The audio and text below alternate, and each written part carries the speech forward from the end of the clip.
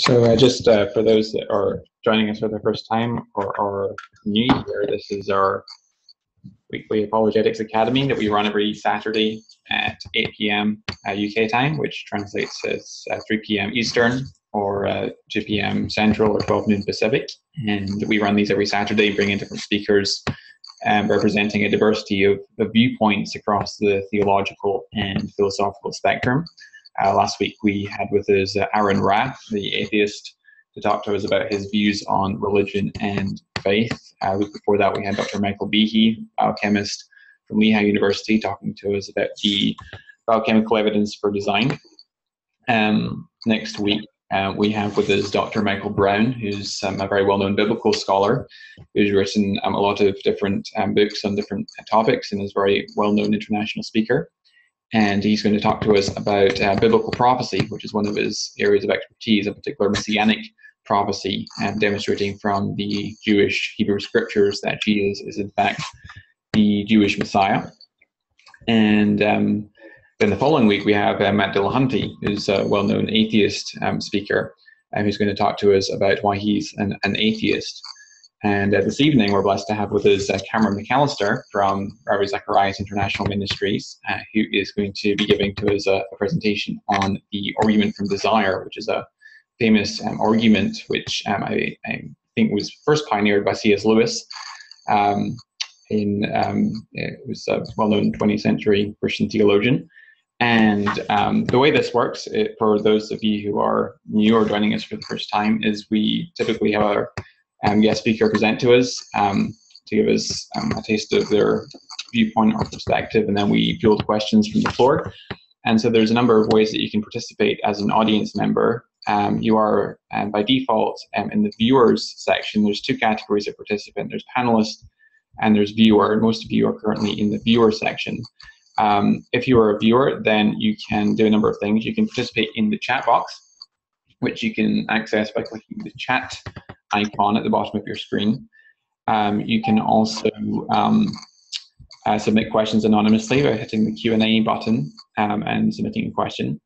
You can also raise your hand. There's a raise your hand button um, on the bottom of your screen as well, which then will um, signal to me that you wish to be made live with the speaker and interact with them by engaging your webcam and or uh, microphone and um, and you can interact with them, express disagreement, or ask clarifying questions, or um, or what have you, or make comments um, on their um, presentation.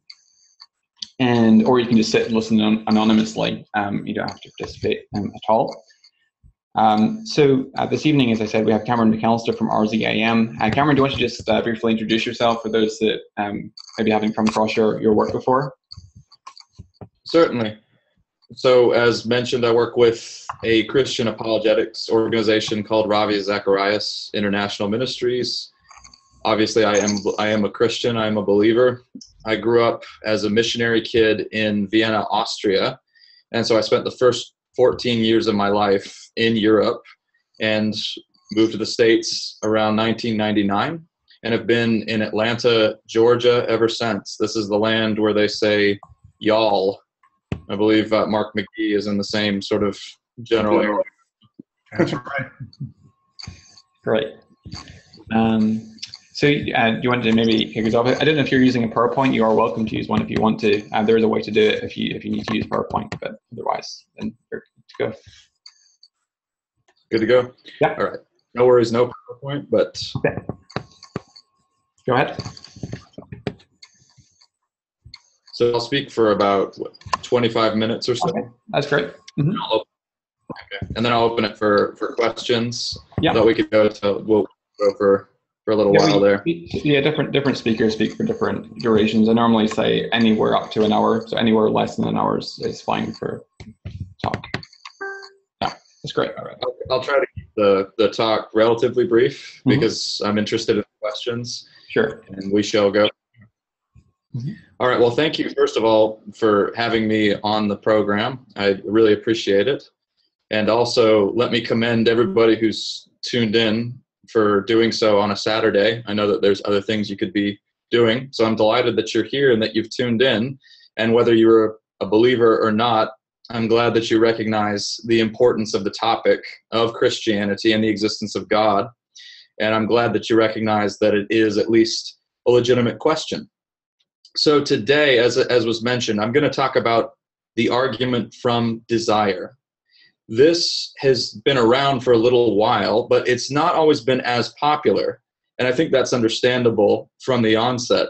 You usually it, don't want to bring desire into the conversation. At least many people would think that. It seems counterintuitive to bring desire into discussions of the existence or non existence of God. After all, haven't many of the more illustrious atheists of the 20th century basically said that Christianity is a form of wishful thinking? The two perhaps most accomplished exponents of this view that Christianity is a species of wishful thinking would be Sigmund Freud, the Austrian psychologist, and then Ludwig Feuerbach. Now, both of these men argued that Christianity is essentially a form of, of wish fulfillment for many people. And they do so in quite sophisticated terms. And oftentimes you'll hear it you'll hear it said in popular forums that Christianity is a crutch. People who want to hide from reality can do so in the behind the walls of the church, and so on and so forth. And so these are some formidable objections. Nevertheless, I think the argument from desire is an important argument, and I think it's a helpful one. Now, let me say from the onset, and I'll try to repeat this throughout, just so that there aren't any misconceptions. I'm not being hugely ambitious with the argument from desire. I think it presents us with a powerful clue about God's existence. I don't think it constitutes a full fledged proof of God. So I don't think that the argument from desire proves God's existence. I think it gives us a very powerful clue but an important clue, one that we can't just sweep under the rug and do away with. I think that would be dismissive. And so, that said, another strength of the argument from desire is that it actually it's an existential argument. It intersects with our day-to-day lives. Here's something that I found to be true as I've traveled around the United States and also as I've traveled around the world now talking about Christianity many people don't think that Christianity has anything to do with life. They think of Christianity like many Westerners do, or like many modern people do, that Christianity is essentially something that's purely private and it doesn't really intersect with life in the real world. You might go to church, you might pray, but you do that on your own time. But then when you step out of the prayer meeting or out of the church or wherever it is you go, to, to explore spirituality, then you leave that behind and you go into the real world and you do your real day to day things. And so, what you believe, your so called deeper beliefs about God and spirituality, don't really have much to do with your day to day life. And a lot of the classical arguments for God's existence, the proofs, the five, whether it's Thomas Aquinas's five proofs or arguments from design, I think those arguments are very important and indeed very useful and very powerful, but they tend to be a little bit abstract and they tend to be intellectually compelling, but existentially, they can sometimes leave a bit to be desired. And in our own day and age, people very much prize experience. And so this argument has the strength of being drawn directly from human experience.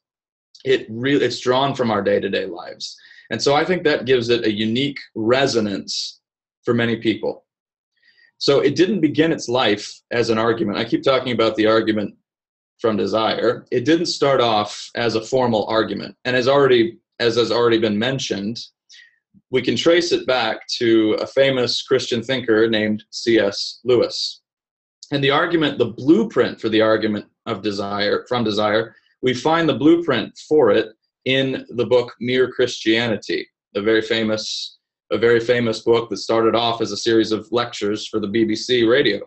But in the hope section of Mere Christianity, C.S. Lewis makes a couple of provocative statements that provide the blueprint for the argument from desire. Let me give that to you.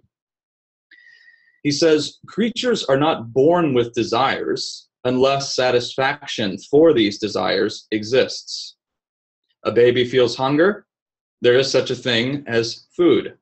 A duckling wants to swim, Well, there is such a thing as water. Man feels sexual desire. Well, there is such a thing as sex. And here's the important part if I find in myself a desire which no experience in this world can satisfy, the most probable explanation is that I was made for another world. Let me read that again. If I find in myself a desire which nothing in this world can satisfy, the most probable explanation is that I was made for another world. This is a very famous statement of Lewis's, and many people have really been provoked by it to deeper thought.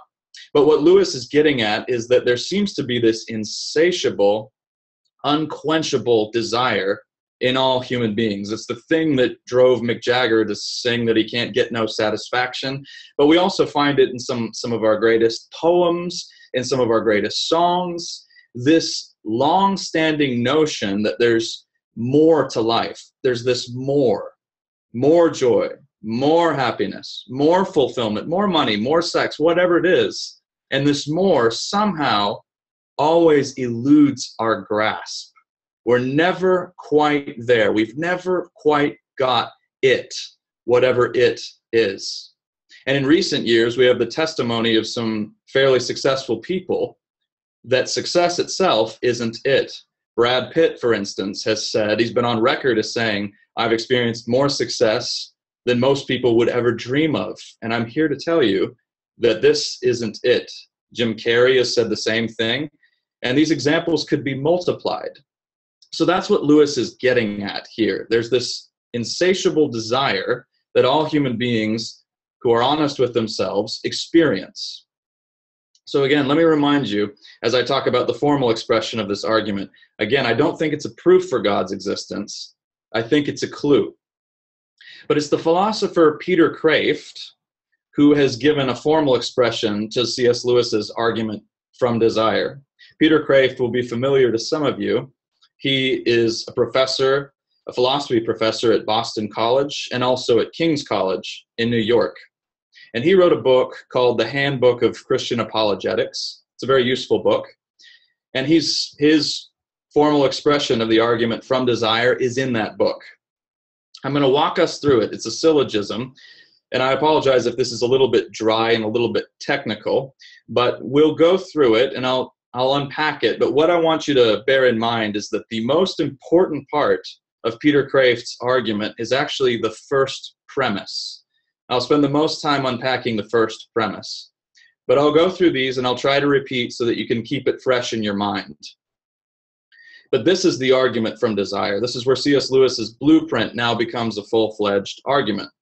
So Peter Kreeft says number one, every natural, innate desire in us corresponds to some real object that can satisfy that desire. Now, again, this is the most important point that Peter Kreeft is going to make. Let me repeat it. Every natural, innate desire in us corresponds to some real object that can satisfy that desire. Number two, but there exists in us a desire which nothing in time, nothing on earth, no creature can satisfy. There exists in us a desire which nothing in time, nothing on earth, and no creature can satisfy. And number three, therefore, there must exist something more than time, something more than just this earth and this world, and something more than creatures which can satisfy this desire. Remember, I talked about that elusive more. There's that something more that keeps drawing us forward.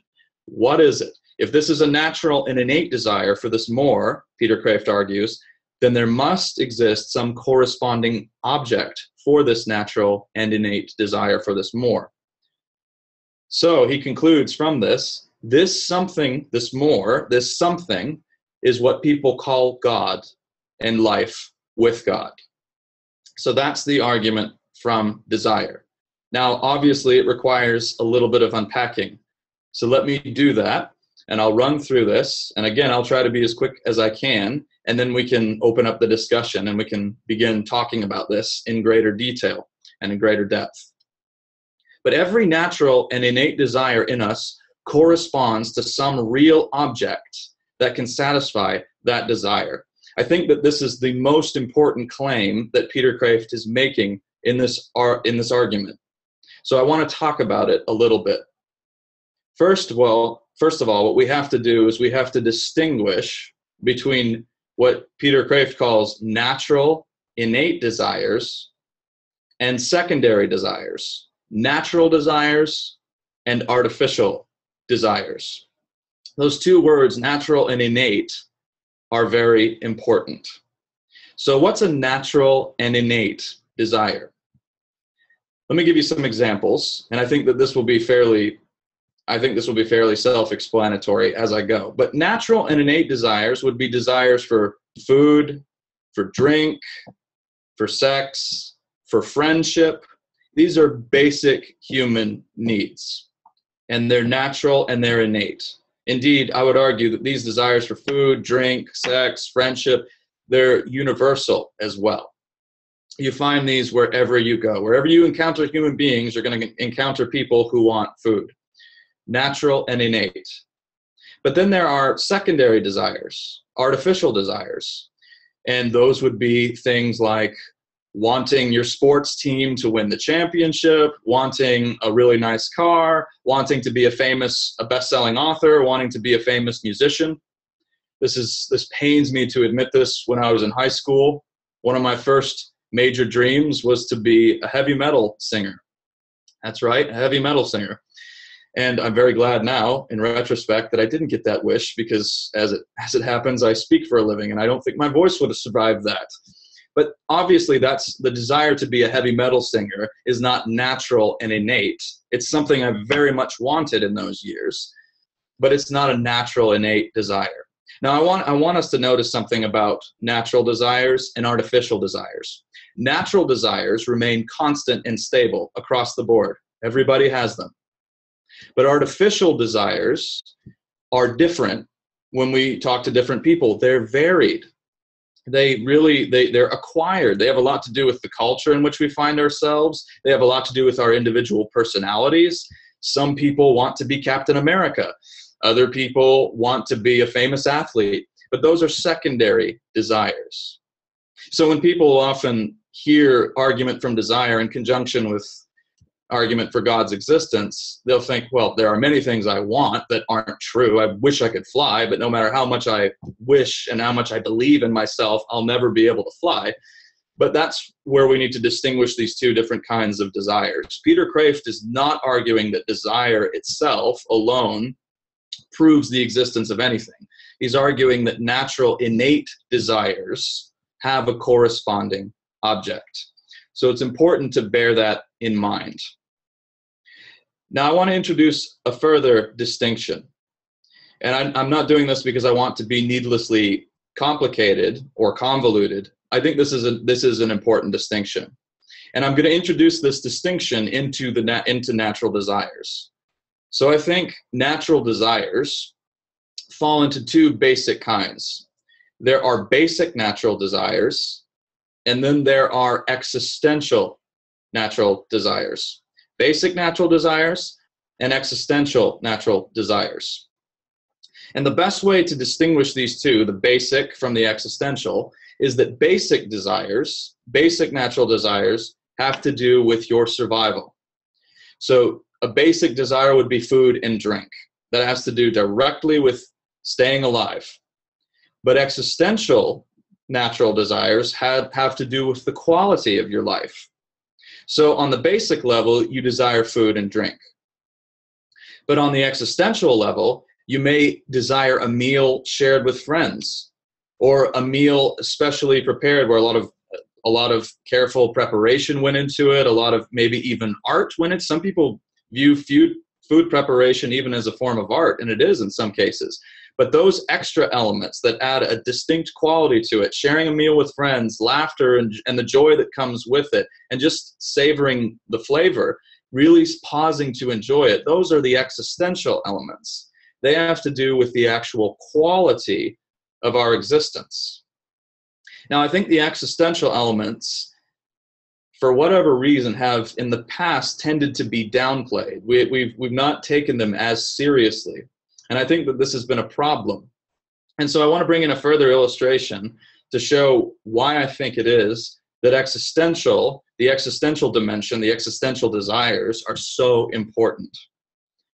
In our affluent Western context, many of us, we're, we live in a modern society where we're surrounded by conveniences and we have a lot of easy we have in many ways we have easy lives especially compared to the lives people led historically. We have a very high quality of life. The lifespan of the average individual has been extended as well thanks to breakthroughs in the medical industry. So a book came out recently. It's a very interesting book and it's called being mortal and it's rocketed up the bestseller list in the United States. I'm not sure whether this has crossed the pond into the UK, but Being Mortals, written by a medical doctor, and his name is Atul Gawande. And once again, he's a, he's a physician, he's a medical doctor. And what he's talking about in the book is on the one hand, the medical industry has enjoyed amazing breakthroughs. The world of medicine has, has come so far in recent years. And he argues that doctors are very well prepared to sustain life and to extend life. But they are not prepared, he argues, to help people prepare to die. that sounds very strange, but the truth is, we're, we all eventually are going to die. All of us are mortal. And so doctors need to be prepared to help people die prepare them to die rather than just extending their life, but also prepare them for the process of dying. Now, what does that mean? Well, here's where the existential component comes in very strongly. One of the places that is so feared, I would argue, in our modern society is a nursing home. And indeed, he talks a lot about nursing homes in being mortal there's a lot of attention paid to nursing homes. For many of us, nursing homes call to mind a, a, way, a living nightmare. This is this is a place that is almost like hell on earth. Now, don't get me wrong, there are some wonderful nursing homes out there providing some wonderful care. But nevertheless, in many of our minds, I think we tend to associate n- nursing homes with the loss of human dignity, the loss of our freedom. And in a sense, all of the existential components that have to do with the quality of our life. The quality of our life gets sacrificed for mere survival in this kind of a setting. You're just being kept alive. All of the other factors, or at least a significant portion of the things that have made your life so important, the choices and your freedoms, your ability to do many basic things, are gone in a nursing home. So the existential side of this is very important. The quality of our life is incredibly important to us. So many of our desires, our natural desires, fall into this existential category that has to do with the actual quality of our existence. We're not just mere survivors. There's more to us than just flesh and blood. This is why, famously, one of the very interesting responses from Jesus Christ in the Gospels when he's led into the wilderness to be tempted. One of his responses when he's hungry, remember, he's been fasting for 40 days. When the devil says, Turn these stones into bread, what does he say? He says, Man shall not live by bread alone. There's more to us. And so, what, what is that more? let me let me give you some of the existential desires and i think these are also i think these also fall fall into the category of natural and innate and some of the existential desires would be the need for cosmic security cosmic security to know that in the end all shall be well and all shall be well and all manner of things shall be well as julian of norwich fam- famously said the desire to, to for immortality to live forever but here's an interesting distinction it's not just the desire to live for en- forever. I'm going to call it there's endless life and then there's eternal life. Endless life is just a monotonous succession of days where you grow increasingly more jaded and cynical. Cynical. I think you can think, I mean, you don't want to be a vampire. That is in many ways a vision of hell on earth. What we want is a kind of life where there's newness, there's novelty, there's excitement, there's adventure. So, cosmic security, eternal life, a desire for heaven, some kind of perfect realm where there isn't any more pain and suffering and sorrow, a desire for goodness, where people treat one another well, where there's true goodness and kindness and beauty, a desire for a larger life, a life where there's more than meets the eye, where your actions count for more than just what you're doing here in this temporal realm, but where there's a deeper meaning to everything. And meaning, the desire for meaning, that's a very that's a basic innate existential desire. We want we want meaning in our lives. Again, let me take you back to the nursing home. What makes a nursing home for many such a horrible place, or just the thought of it as they currently are right now, such a horrible place, is that you're you're living life. You might your you might be your life might be secure. They're going to keep you alive, but there's no meaning to anything that you're doing. If they park you in front of a television all day, sedated, there's no meaning to that. You're alive, but you're just alive. You're just surviving. You're not really living.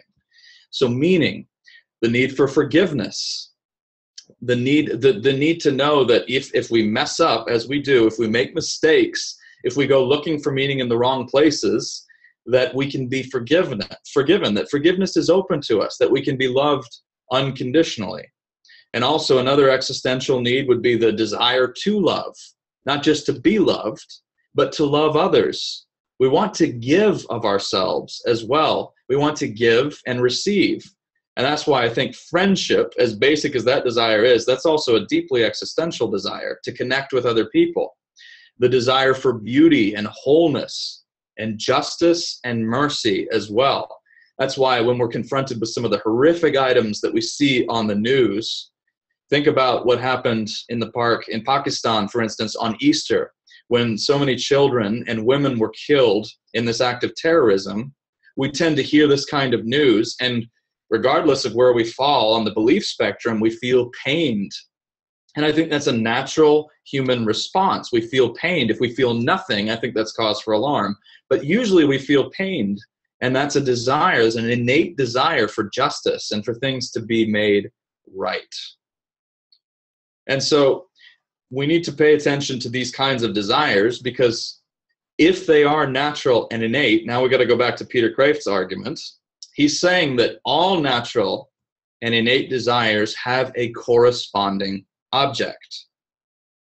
So if what we've said so far is true, if all of these desires are indeed innate, and natural that is they're universal you'll whenever you encounter a human being you're going to you're going to find these kinds of needs these kinds of desires then it would follow that there is some object corresponding to this set of needs and desires now what object could possibly correspond to these kinds of desires it has to be an object that is something more than time and space, something more than what the earth has to offer, and more than earthly experience, more than the creatures on this earth.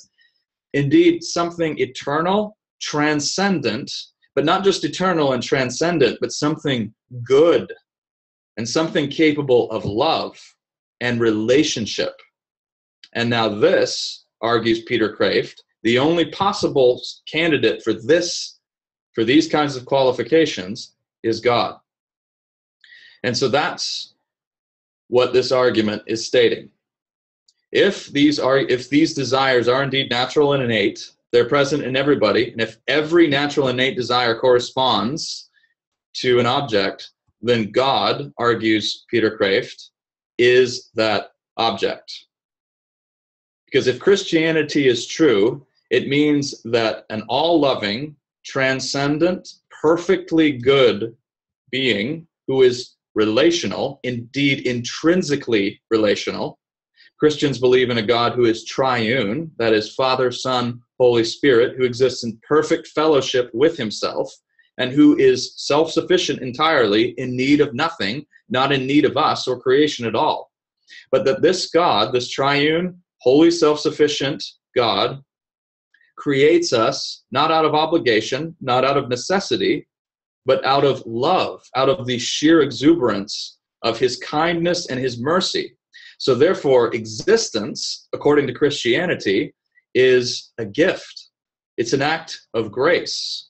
We don't have to be alive, we get to be alive. And God has made us for Himself. And that's why, taking a leaf from Augustine of Hippo, the great bishop, he once said, You have made us for yourself, and our hearts are restless until they find their rest in you. Augustine sounding very existential indeed in that moment. But that's what Christianity claims to be true. And Peter Kreeft and C.S. Lewis as well are both saying that our desires, our natural innate desires, are more than just desires, but they give us a powerful clue into the very structure of reality itself. Now, whether we're persuaded by this argument or not, I do think that it at least deserves to be taken seriously. And I do think that it raises a number of different issues that deserve our attention. I think to just sweep it under the rug and dismiss it would be a mistake. I think there's more going on here than meets the eye. But nevertheless, you can deny this argument, of course. You can deny it. You can, and probably the best way to deny this argument would be to say that not everybody has this desire. You, Cameron, you're talking about this desire for something more. You're talking about this unquenchable human desire, but maybe maybe the poetically inclined or the artistic or creative kind of people feel this, but not everybody feels that. I'm happy with my life. I've got a good life and you may have a good life and indeed many of us do have good lives we lead we lead good lives we're happy we have fulfilling relationships and so this argument one of the weaknesses of it is that it does rely it depends on a certain level of introspection and honesty from the people who hear it as well and all i can say in response to that if you deny this universal human longing for something more is that the testimony of humanity speaks against you on this one. There's a very strong conviction down the ages that nothing in this world and nothing in earthly experience will give you lasting fulfillment. You can get wonderful temporal fulfillment. Sex will gratify you for a time. Fame will gratify you for a time. Money will gratify you for a time. But again and again, we hear that the, the fulfillment is temporal, it's not lasting. There's something more that we still want. And again, a lot of people who have experienced astounding success continue to be driven to seek out more, to acquire whether that's more wealth or acquire a richer tapestry of experiences, to travel more. And there's this relentless search for more, more, more, no matter how much we have. And so if this argument, if this desire is not constant, in a sense, you have to give Mick Jagger the answer to why he can't get no satisfaction. Where is that relentless drive coming from? But let me let me end on on a somewhat inquisitive note, and I'll try to sum I'll I'll try to summarize a little bit here what we've said so far. So let me summarize. We've said that Peter Kreeft has said every natural innate desire in us corresponds to some real object that can satisfy that desire. There exists in us a desire which nothing in time, nothing on earth, nothing in our earthly experience, and no person or creature can satisfy. Therefore, there must exist something more than this earth, something more than time, more than space, more than all the creatures and the experiences that surround us. This something is what people call God, and eternity with God. That's the argument that we've summed up so far. And I've argued that not just the basic needs for food and shelter and drink, but also the existential needs for friendship and meaning and hope, that all of these are basic human needs, that all of these actually are, are innate natural desires. And if that's the case, if Peter Kreeft is right, then they point to some real object. So let me end on an inquisitive note. The way to the best way to go after the argument, as I said, is to deny this universal human longing for more. Now, I think the person who did this the best, and I think one of the most consistent atheists I've come across, is Sigmund Freud. Now, I have a, I have a soft spot for Sigmund Freud. possibly because I was born and raised in Vienna, Austria, which was his hometown, so there's an affinity there. I also admire him as a thinker. I admire Freud's honesty. I admire I admire the rigor of his thought. I admire his creativity. But he stuck so doggedly to what he believed, and I, though I disagree with him profoundly, I, f- I find a lot to admire in Freud. And Freud didn't. He he argued that Christianity is a species of nothing more than wish fulfillment. There's nothing more to it than that.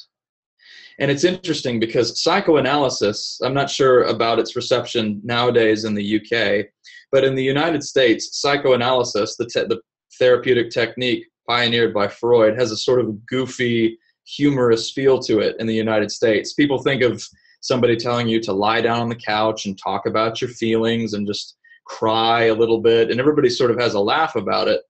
But that has very little in common with Freud's extremely stoical and austere project. You see, psychoanalysis was originally meant to progressively dismantle all of the illusions that you're using to hide from a cruel and pitiless universe. And so I want to give you a quote from Freud that I think is extremely revealing. He once wrote in a letter to a friend, he said, The moment a man questions the meaning and value of life, he is sick, since objectively, neither has any existence. So the moment somebody questions the meaning and value of life, they are, by in Freud's estimation, sick because life doesn't have any meaning or value. And if you think it does, and if you're worried about chasing meaning and value, then you're chasing illusions and you're living your life in an illusion. And this is why all of Freud's disciples ended up breaking with him because he stuck doggedly by this assumption that life has no hope. And he recognized that to offer any greater or higher hope was to offer a kind of religious option. And he was unwilling to do it because he didn't believe in religion. He didn't believe in God. All of his all of his disciples, whether whether it was uh, Carl Jung or Adler, they all broke with him on this one. But Freud stuck doggedly to it.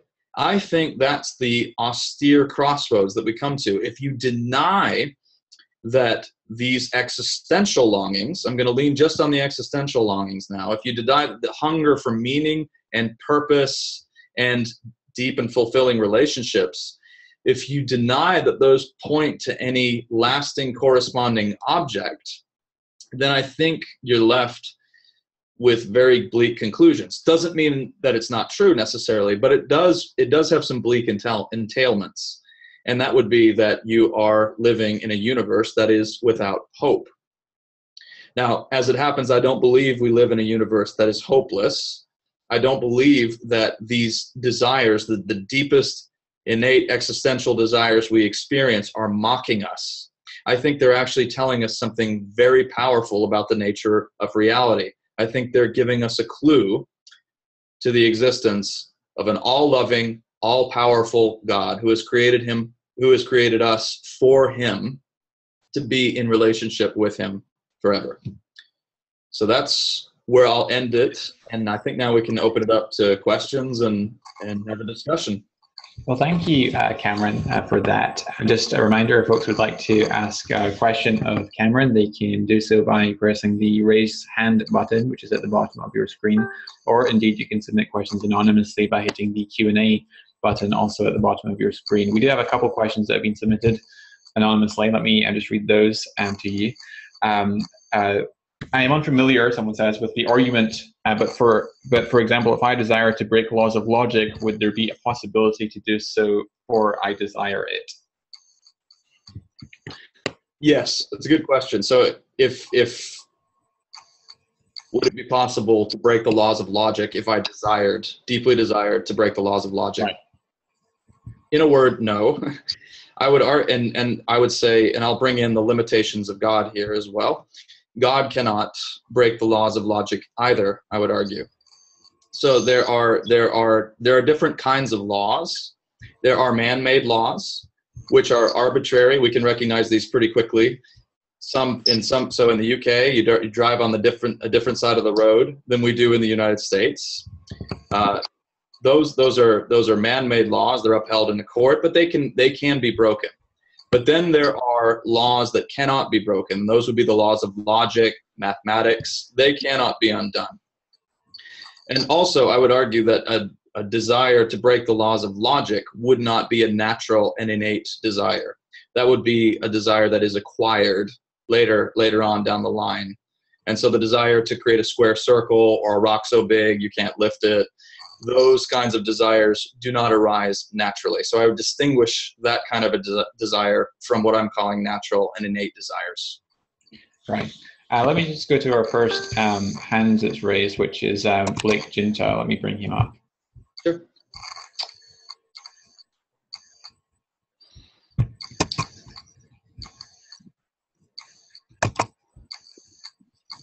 Hey, Blake, you're live with Cameron. Hey, brother. Hey, Blake. Can you all right? Hey, Cameron. Hear you. Yeah. Um, so I I actually have a quick thought on what uh, the other person just said. It seems to me that in order to desire something, you have to have an idea of what you're desiring, um, but you can't have a concept of breaking a law of logic. So that's incoherent. You can't you can't meaningfully have that desire, anyways. Very good. Um, but I do have a, a, few objections. I don't think that the best objection um, to the argument is that oh, there are folks that don't have this desire. Um, my thought would be that the best objection would be to try to come up with some things that uh, people uh, have desired or can desire that can't be satisfied. So, for instance, uh, as Christians, we believe, um, or at least several Christians do, believe that there's a historical Adam, and there was a point at which Adam uh, might have desired several things that he couldn't have had. In fact, we we have a report of him desiring something more, but there was no woman. You know, that was the ultimate object of his desire, and God created it to fulfill that. But there we have a desire uh, that isn't um, fulfilled. How do you see that relating to the argument? Well, I don't think his desire for a companion was an ultimate desire. I think it was a desire again for something that is basic and does have, and again, Eve Eve is created, but he also has companionship with God, and so that does again the desire does have a corresponding object, whether Eve comes into play or not. What what about the okay? So then, sex. He, you mentioned earlier that sex would be an example of a basic desire that has fulfillment. But in that case, Adam would have a desire that has no fulfillment. Well, I think you could make the case, and this is a little bit speculative, that prior to the existence of a female counterpart, that desire may not even exist yet. Okay. We, we, so we draw more experience as, as obviously as you know creatures that are sexual, but Adam Adam may not have been at that point. Okay, so I mean, maybe God continued to work on Adam because it wouldn't just be sex; it would be several things that uh, would come into being as God introduced them. Because some desires can only be satisfied when you have more than one person. You know, sort of that table fellowship is something right. that might need more. Right. Yeah. Um, yeah. Go ahead. I was going to say, so what about uh, then like a desire? I think a lot of people, I remember myself it's like I really want to move this object with my mind. It seems like you know I should be able to do it. I should be able to develop in myself this ability to move this object with my mind. Right. uh, what about desires like that? Um, again, I think that I think again those desires are real, and yeah, we all want to be able to do many of us want to be able to do jedi mind tricks and fly and do other but again these are these are secondary desires and these would be born of fiction. So they would be born of different myths or stories that we're exposed to. When i was when i was younger these didn't come initially through movies. They came through stories that were read to me. But again i would so I, again i would say that you've got a very elaborate but a secondary desire again as opposed to an innate and natural desire on that one one reason to think it might be innate, though, is what if we could establish that cross culturally people have independently come up with this desire to, um, you know, ha- have more superpower, so to speak? Um, wouldn't well, that say that it is more innate? Yeah, I don't think you need to establish that. I think that is established. Um, I do think that that's a. So I think you can have secondary desires that are widespread and fairly common. They might take different manifestations. Some people might want to be Jedi's, some people might, might want to be Captain America, what, whatever it takes. But again, the natural and innate desires are also intimately tied to human need. Mm-hmm. So you actually the, your your survival depends on these things, even the existential side. So this is why to, to draw in the nursing home example again, when you're being kept alive, you're sedated in front of a television. Many times, people in those kinds of circumstances will will end up dying much sooner, and we know that's because basically they're deprived of living life. Hmm. Uh, so so I think basic, natural, and innate comes into play there, but the human desire to do to to do more to to fly to to kind of reach beyond human ability you could i think argue that that's a that's also a desire to sort of break through human limitations mm-hmm. the desire to not die i think is the is the most powerful and raw expression of that and again i would say if if christianity is true then the then then we won't then that desire is legitimate and there is a corresponding life for that yeah I was going to say maybe um, if you carry the argument through, because I, I, I, don't think it's that easy. Uh, it almost seems a little ad hoc to say that that's not a, a primary desire because it's it, at least as I think about the relevant features um, of the desire, it seems pretty similar to the uh, primary category. But maybe if that's right, then you could follow through and say maybe that's a reason to think we can move objects with our mind in the afterlife. Maybe you know maybe we can do some of this stuff um, which would be an interesting conclusion. Yeah, and um, C.S. Lewis goes in that direction a little bit. You'll remember probably when he talks about different kinds of miracles in the book Miracles. He talks about miracles of the new creation, where Jesus is walking on water, and how the, these seem to point forward to a time where we enjoy a greater level of control over physical objects. And remember when mm-hmm. Jesus, the resurrected Christ, appears to the disciples, he passes through walls, things like that. So yeah, mm-hmm. just to go, just to go along with what you were saying. Yeah. And then the final one for this category of, of objection, sure. uh, maybe there are things that we can think of that can't be satisfied, is I was thinking, what about um, a desire to sin freely without culpability? So it seems like we want to sin without restraint, without um, you know being held accountable for that. But if a perfectly good God exists, then that is a logical impossibility. Mm-hmm. That's very good. So let me let me hang on on sort of an Augustinian understanding of sin here. I think that sin is misdirected desire. So the problem there isn't so much that you want to sin, you want to nobody nobody pursues a life that is that that is just sheer that they just want to be sheer wickedness. I think mm-hmm. they want to be able to do I think they sin because they want to achieve something good from it. They think that it will make them happy, they think it will bring them fulfillment and they think that the rules that are set up are getting in the way of that fulfillment. So sin is misdirected desire. And so what hap- what needs to happen there is our desires need to be reordered and reoriented. There's a place for and most of the things that people want, there's a place for them. They just have to be properly ordered. There's a place for sex, there's a place for pursuing your career, there's a place for success. But again, if you put them all out of order, if you place the success, your success above the above your career above your family, you end up wounding your family, and so on and so forth. So I think if our desires are redirected and properly oriented, they then then your desires won't get in the way of your fulfillment. And indeed, some would say that the greatest aspiration spiritually of the Christian life is to come to the place where you want what God wants, where, mm-hmm. where you say, as Jesus did, "Thy will be done."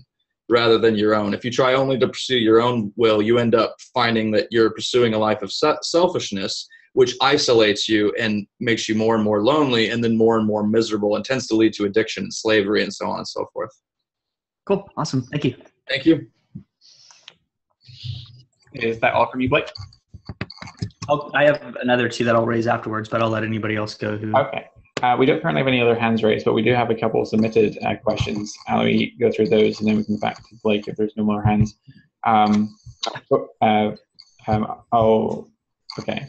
Um, folks, if you want to um, um, ask a question live, then um, you can press the raise your hand button. Otherwise, we'll with the the other uh, questions that have been submitted at the moment. So Sean Sona asks, um, one, uh, so he has um, three different things he wants to ask. Contesting premise two of Peter Kreeft's argument, and probably premise one as well, why not the thing we desire so much um, actually be some abstract concept of fulfillment and pleasure? Does the argument really lead us to God or some abstract concept of fulfillment? Yes, and that's a very good question. Was it Sean? That was Sean. Okay, thanks, Sean, for the question. Yeah, does the do these desires really lead us to God, or could they lead us to more some abstract concept or state? I don't think they do. I think you could make that argument. But the reason I don't think that they do is because if we look at again, if we look at the existential needs I highlighted, there many of them are inherently relational. And if if those deep-seated existential needs are natural and innate and they're relational, then that would seem to rule out something abstract. And it would seem to point up our need for some personal being we can actually enjoy a relationship with and that we can find fulfillment in that relationship rather than some abstract state or concept? Very good question. Uh, we have a second one also from Sean. He says, Can basic natural desires explain the origin of existential desires? For example, we desire to survive, so therefore we want to live in a place of pleasure and security, also known as the concept of heaven.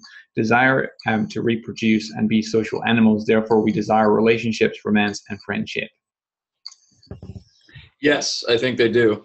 I think existential desires and are what I call the basic ones are integral. They're they're inextricable. They they work together. There's a there's a lot of overlap, and so you could say that yes, extrapolating from these basic desires, we come up with concepts of heaven. We come up with the idea of some sort of a benevolent grandfather in the sky figure. And again, this would be this would be a species of the wishful thinking argument, which was pioneered by actually really by Ludwig Feuerbach, and I think in the book The Essence of Christianity.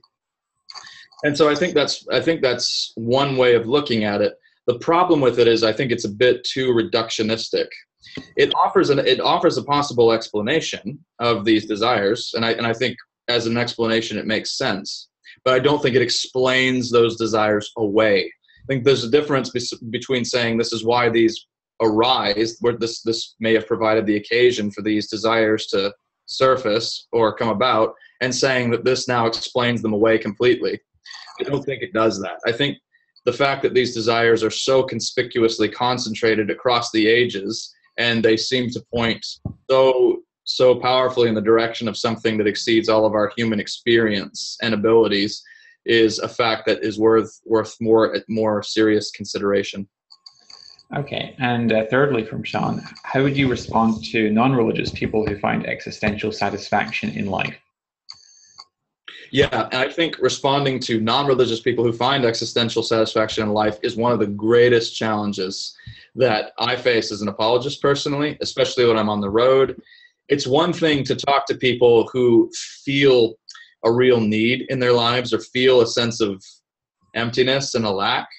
And then others who who have a very good life and have it together are successful are happy have families. I think of there and there are there are fairly well-known atheists who fit into this category. Penn Jillette, the uh, the entertainer who's, who's who appears on tv he's a he's a he's famous for un, unmasking illusions he makes this argument as well. I think that what, what needs to be borne in mind is that in the end, we're still mortal.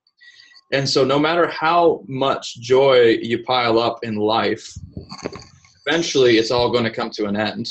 And that tends to leave a sense of dissatisfaction in everybody.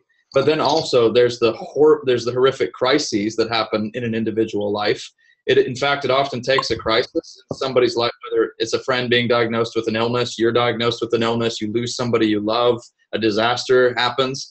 Sometimes it takes an event like that to remind us just of how fragile life is and how fragile we are. And also, I think that if we pay attention to the world around us and to what's going on, it becomes increasingly difficult to sustain the belief that all is well in the world. I think you can make and, and so I, I like Penn. I think he's I think he's really funny. And I think a lot of his arguments about basic happiness and fulfillment are good up to a point. But I also think that if you you can say things like that from the stability of a relatively comfortable nation like the United States or like Canada or like the UK, it's usually Westerners making arguments like this. Whereas if you live in a context like my, my mentor and friend who works with the ministry here as well, John Njoroge, he's from Kenya. and Kenya is absolutely it's a country infiltrated by corruption and greed and all sort he's just basic you're surrounded by injustice and poverty everywhere and so when you're in those kinds of circumstances you tend to see what used to be called life's wretchedness as well so i think life is filled with glorious pleasures and you can you can achieve a lot of earthly success. But i think to sustain to believe that that's all that there is and that we can just live happy lives only a privileged few can do that. And i, I think we need to be mindful of that as well. Great question. Thanks sean um, we also have um, Scott Hudson who wants to ask uh, Would someone's desires for God to not exist be a secondary desire? Right. And so this is where wishful thinking works both ways. So, famous, maybe some of you will probably be f- familiar with uh, Thomas Nagel. He's a philosopher here in the United States, teaches at New York University. And he's, he's on record, he's an atheist. He's on record as saying, It's not just that I don't believe in God. It's that I don't want God to exist. I have a cosmic authority problem. And again, I really admire his honesty. Um, I do think, and, I'm, and this might be a little bit controversial, but yes, I'm going to argue that the existence for God to, well, the the desire for God to not exist, the desire for him to, for there not to be a God, is a secondary desire.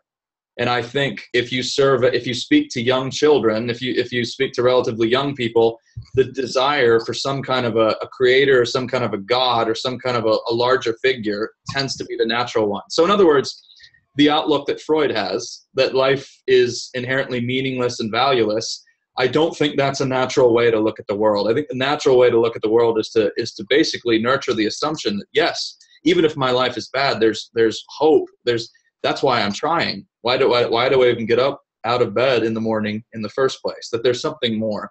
So I think the I think the desire for God is natural. I think the desire for God to not be real is secondary.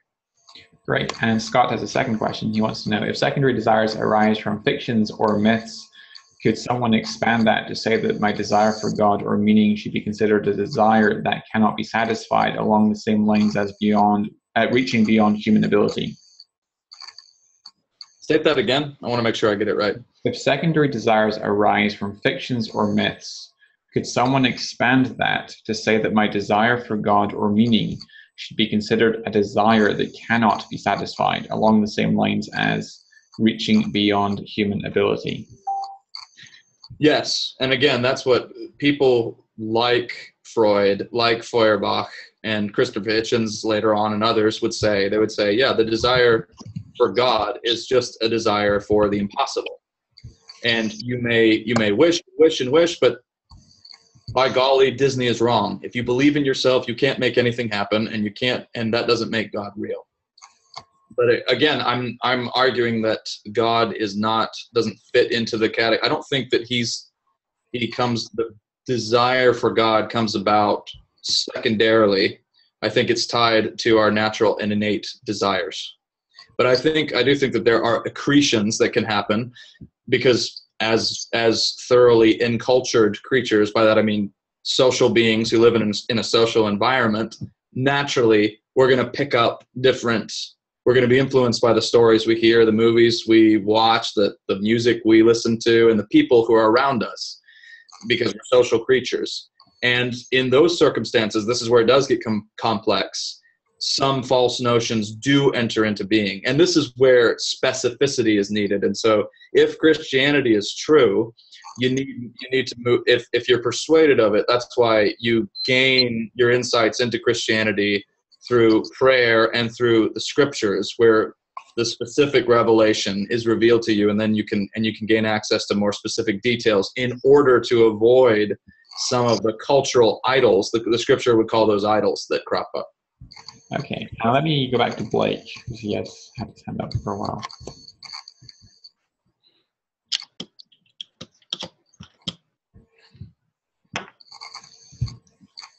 Blake, welcome back. Hey, thanks.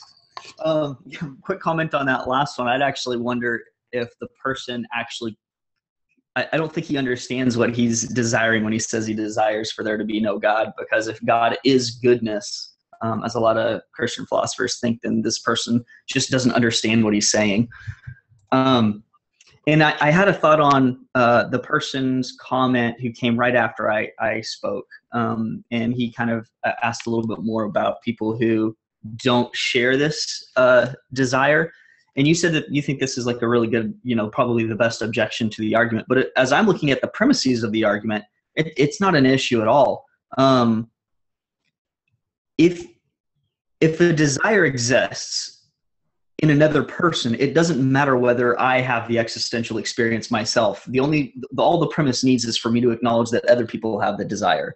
So it's kind of like saying you know what? I something's wrong with me. Maybe i don't have a desire for hunger but that doesn't imply that there's no food out there. So all that's required for the premise to go through is to grant that other people have have this sort of desire um, so i don't do you agree with that before i uh, raise my objection or what do you think about that yeah, I think. Yeah, but I, I, I think people want to deny. Yeah, I, I guess I agree with it as far as it goes. But I think people, if they're if they're going to object to the argument, what they're going to try to go after is probably that either either that every natural innate desire has a corresponding object. They'll say that no, not every natural innate desire does. Or this idea. And I've actually because I've had people object to it when I was talking to them before that there's this desire for this more Mm-hmm. But I, I think you're right. I, I think, but I also think that's an incredibly difficult argument to make because it, again, it contradicts almost the, well, it contradicts the collective testimony of almost everybody down the ages. We've always said we want more, and most people will grant you, yes, I want more. But I suppose then what they would say is, yeah, I don't think that that means that there's something more that will satisfy it. So yeah, I would agree. Yeah, yeah. So it seems to me that a lot of people would come up and their objection would be, "Look, I don't have this desire that you're talking about," and my response would just be, "Okay." Um, but the question is, do you think that anybody else in here has that desire? Um, and if they say yes, then you've oh, got your first premise. let me interject real quickly. But I made the I, I made the fairly bold claim, and so does so does Peter Kreeft, that this is a universal desire. So to do that, if I if I so if I just omit the word universal, then what you said obtains. If I say universal, then they could all they have to do is find one exception, and then. But I actually I think you can push back there because you can point out that you can you have people in the world right now um, that because of some malfunction they don't ha- have hunger and they can't experience these other sorts of things. You know, a desire for sex so sure. all we have to do is say, look, we're talking about natural innate desires. I'm not saying that every single human has this desire. What I'm saying is that this is a desire that's innate, and even if you person don't have this desire yourself, can you grant that there's enough literature and people testifying that this is a desire that we can grant that it's nevertheless an innate human, human desire? Yeah, well said. Fair enough.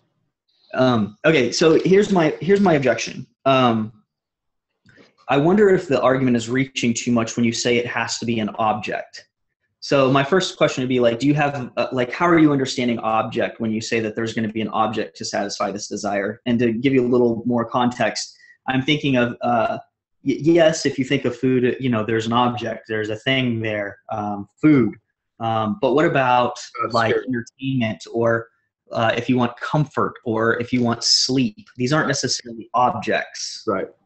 No, I mean object in the very generic sense that it just has a corresponding object or state of affairs. So yeah, if yeah, the desire for sleep, which is another very natural innate desire we all have, or the or but or a relational desire, uh-huh. both correspond to something non-physical. But yeah. Yeah, so there's a, a way to satisfy the desire. Right. Uh, and, and, you, and maybe someone could come back and say, well, look, I can alter your brain so that the desire gets satisfied. And so maybe add a little bit further. Okay, there's a way out in the world to satisfy uh, this desire. Um, yeah, so I, I, think that I don't know how, how deep of an objection that would be. Um, no, it's a good one. I mean, I think you could talk about yeah, culti- you know, inculcating a very elaborate illusion and and then that, that would that that could function as a way to and again this is why this is why it's a it's not a proof it's it's a i think it's a powerful clue. Mm-hmm. but yeah. Look and if there's a way to satisfy the desire um, we're not taught what we're saying is there's a uh, you know it's not impossible. But then as we think about these desires for um, cosmic security um, and we have a desire for comfort and meaningfulness. I don't think you deny that even the atheist that it's logically possible for to have these things without God. You're just it's just going to be like really hard to obtain. Um, so if you don't need an object anymore to correspond to the desire, um, and all you need is the possibility, then you know because the the naturalist is going to want a, a, utopia. He's going to talk about a utopia. Maybe one day we'll be able to um, form in ourselves the ability to you know right in this reality right here now to right. um, live forever and and you know continually have these things. Yeah. So, um, That's how where. how, how does that affect the argument? Because then, the, if, if all it comes down to is there's a way to satisfy the desire, then the naturalist is fine. Yeah. So I think the most helpful guy on this one is John Gray. You know who he is? Mm-mm. So he's he he taught for years at the London School of Economics. He's a philosopher. He wrote a book a number of years ago called Straw Dogs. And so I, I think that John Gray is basically carrying on the, the mantle of Sigmund Freud. But what he argues is that progress is the most elaborate myth of our own day and age. And so he says, because we've had technological progress, we've had breakthroughs in medicine, he argues that that has fooled us into thinking that we've had moral progress and that human nature is perfectible. And he says that that simply isn't the case. He said, we've had breakthroughs in medicine, but we've also had breakthroughs in nuclear warfare. And now there's the threat of nuclear proliferation. And we have some of the most heinous crimes in all of humanity in the 20th century, which were all carried out during enlightened, sort of modern and uh, advanced societies. And so, what he says this does is it should reduce to dust all of our illusions that there's some utopia awaiting us. And, that, and he says there is no golden age. And even even if trans even if the, the goals of transhumanism are realized and human life is extended indefinitely, then again, I, I, I, introduced the distinction a while ago between what's what I called eternal life and endless life. Endless mm-hmm. life does not satisfy the desires for that that we have, which would be eternal life, where there's perpetual newness, where we experience real joy and beauty. Whereas endless life is a, is really just an endless succession of days. It grows emptier and emptier. We grow more jaded and more cynical. So I think you can. I think you can. You can say that there's no corresponding object. I deny that. I think you can deny that. But I think if you deny it, you need to own the fact that you're denying, in a sense, deep, the deepest hope that has animated the human heart for centuries. I do think that goes away. I don't think that you have, I don't think that there's going to be a heaven on earth. And anytime we've tried to, we've tried to organize heaven on earth, it's been hell on earth. Yeah. Um, just one one last thought there, just to kind of uh, follow through with wh- where the force might be. Mm. Uh, is so like right now we have these desires um, that aren't satisfied here, um, and so you're saying that they uh, okay, so they they exist elsewhere to be, they, they must exist elsewhere. Um, so uh, then the uh, how would I frame this? So if we have Um, no, I'll I'll set that aside. I don't think that's right.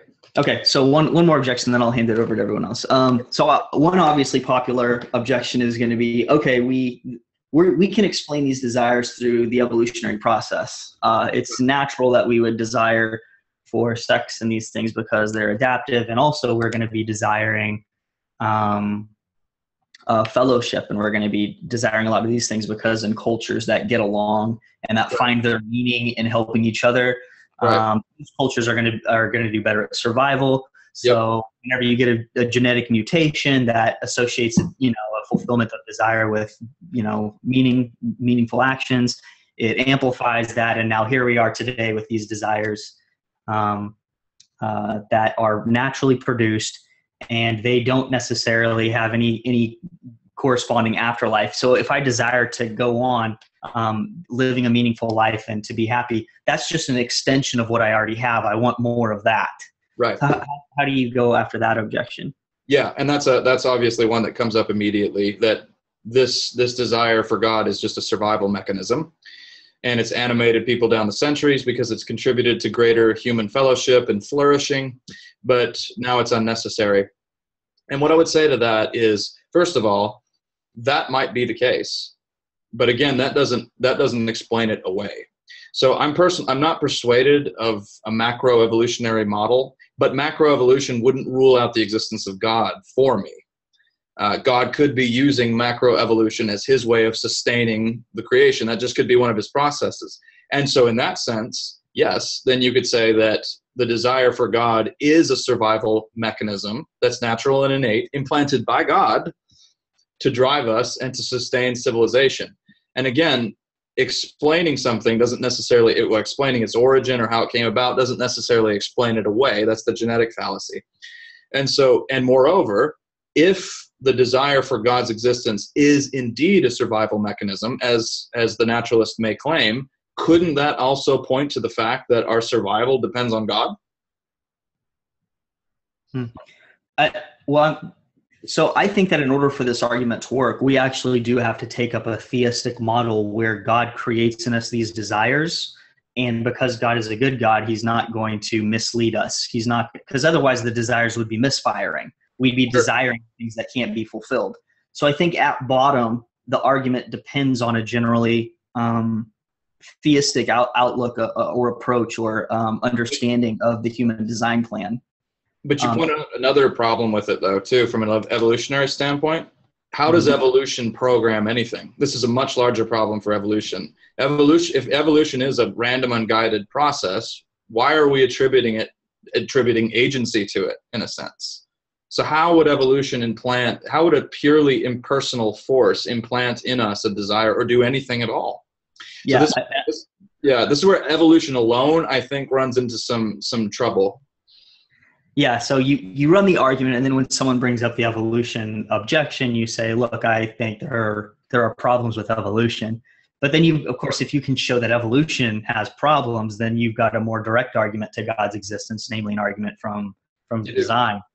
Um, but I've often it's often the reason I the reason I framed it the way I did is because it, people often, will often say evolution, boom, that's kind of the trump card, and I yeah. said, yeah, but evolu- evolution doesn't threaten my belief in God. Uh, doesn't. Yeah, it, it's not being raised as an objection to God's existence. It's being raised as a way to undercut the argument because. No, I know, but oftentimes people, when they invoke evolution, they think that basically that's that's the beginning of dismantling the whole ed- edifice, and I don't, and I don't think it necessarily is. But yeah, in this case, they're going after a specific, a very specific argument. Right. So, I if, think the mindset behind it often. Yeah, if naturalistic evolution really is true, then it seems to me that the argument would have been undermined if naturalistic evolution is true. And that's because um, these aren't actually pointing to genuine desires out in the world. These are just things that um, were adaptive, and now right. here we are thinking that there are desires that can be fulfilled. That you know, the only reason they're there is because they were adaptive. So um, at the end, I, I think that's you know, for most all naturalists that you come across, that's going to be at, at the bottom because you, they've essentially got to reject evolution for the argument to go through for them. Right. So, just a thought. and I think that's all I have. I uh, thanks for. I'm, I'm probably going to be heading out pretty soon, but thanks for you know a bunch for coming out and doing this with us. Uh, yeah, thanks for talking. Thank you, thank you, Blake. Um, yep.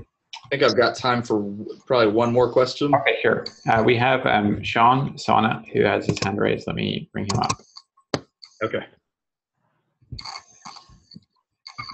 Hi, Sean. Uh, you. Sorry. Wait. Wait. Uh, sorry, you were you were muted. Sorry. Go, sorry. Uh, sorry again, Sean. You were you were muted there for a second. Go ahead. Oh, you're muted again, Sean.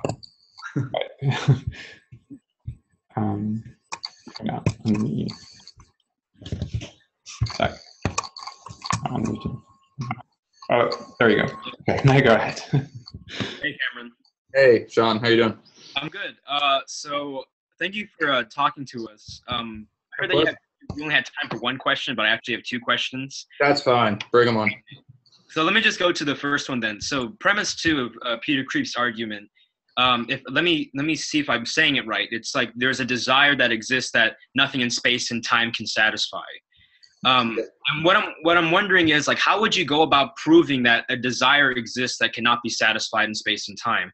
Like, you know, for example, somebody might say after being rejected by a girl, "Oh, I feel like there's no one who can ever satisfy me anymore."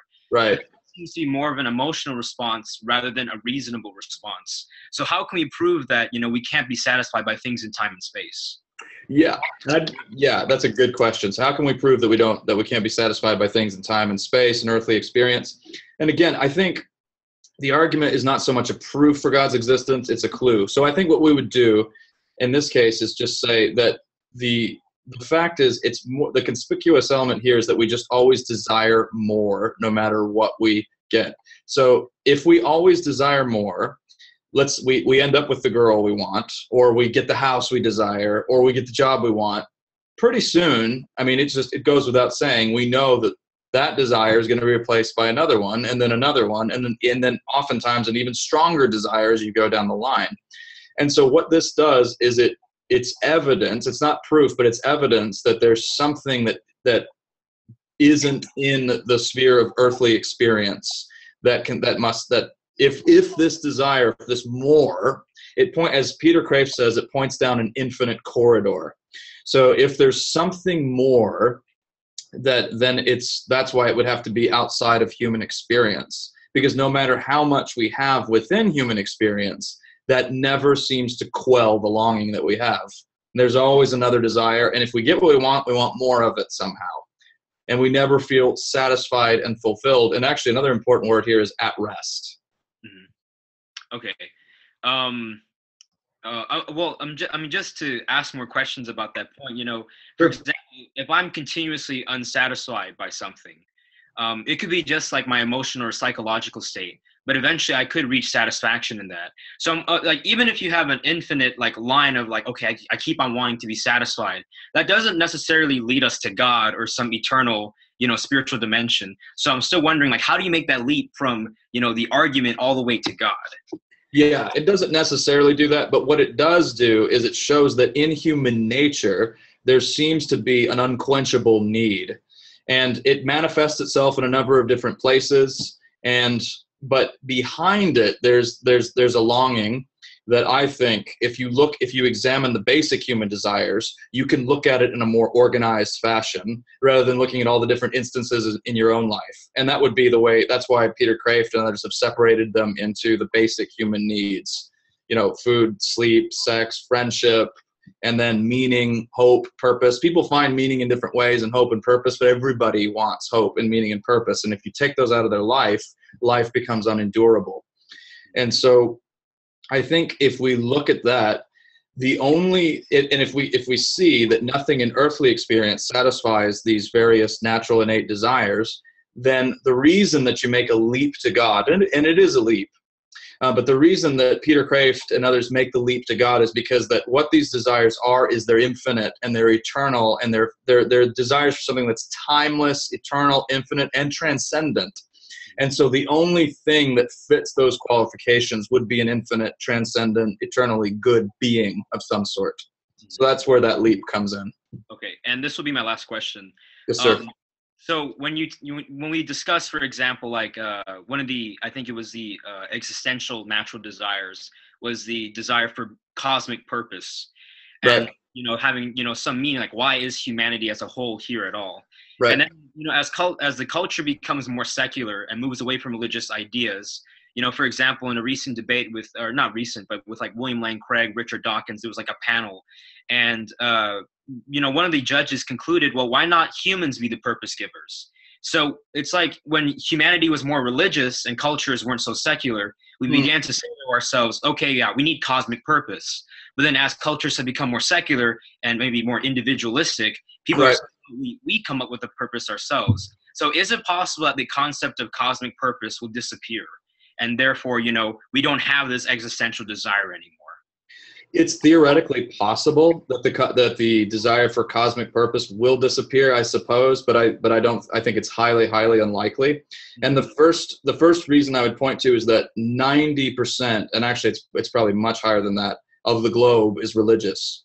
The atheists the, and the non-believers or the skeptics represent a tiny, tiny faction. That doesn't necessarily say that Chris, that religious belief is true or false, but it is a conspicuous factor when we're considering human longings and needs. If the, if the vast majority of the global population believes in some kind of a spiritual higher power, then that would seem to say that our need for cosmic security and purpose is intimately tied to a being that's greater than ourselves.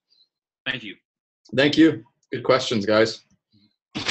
Is that all you have time for? I'm afraid so. Oh, okay. But uh, thanks for having me on the on the uh, on the show again, guys. This has been great. Yeah, you are most welcome. It's been a pleasure having you. All right. Well, have a good rest of your Saturday, everybody. All right. Well, Thank take care, Cameron. Thanks for joining us. Thank you.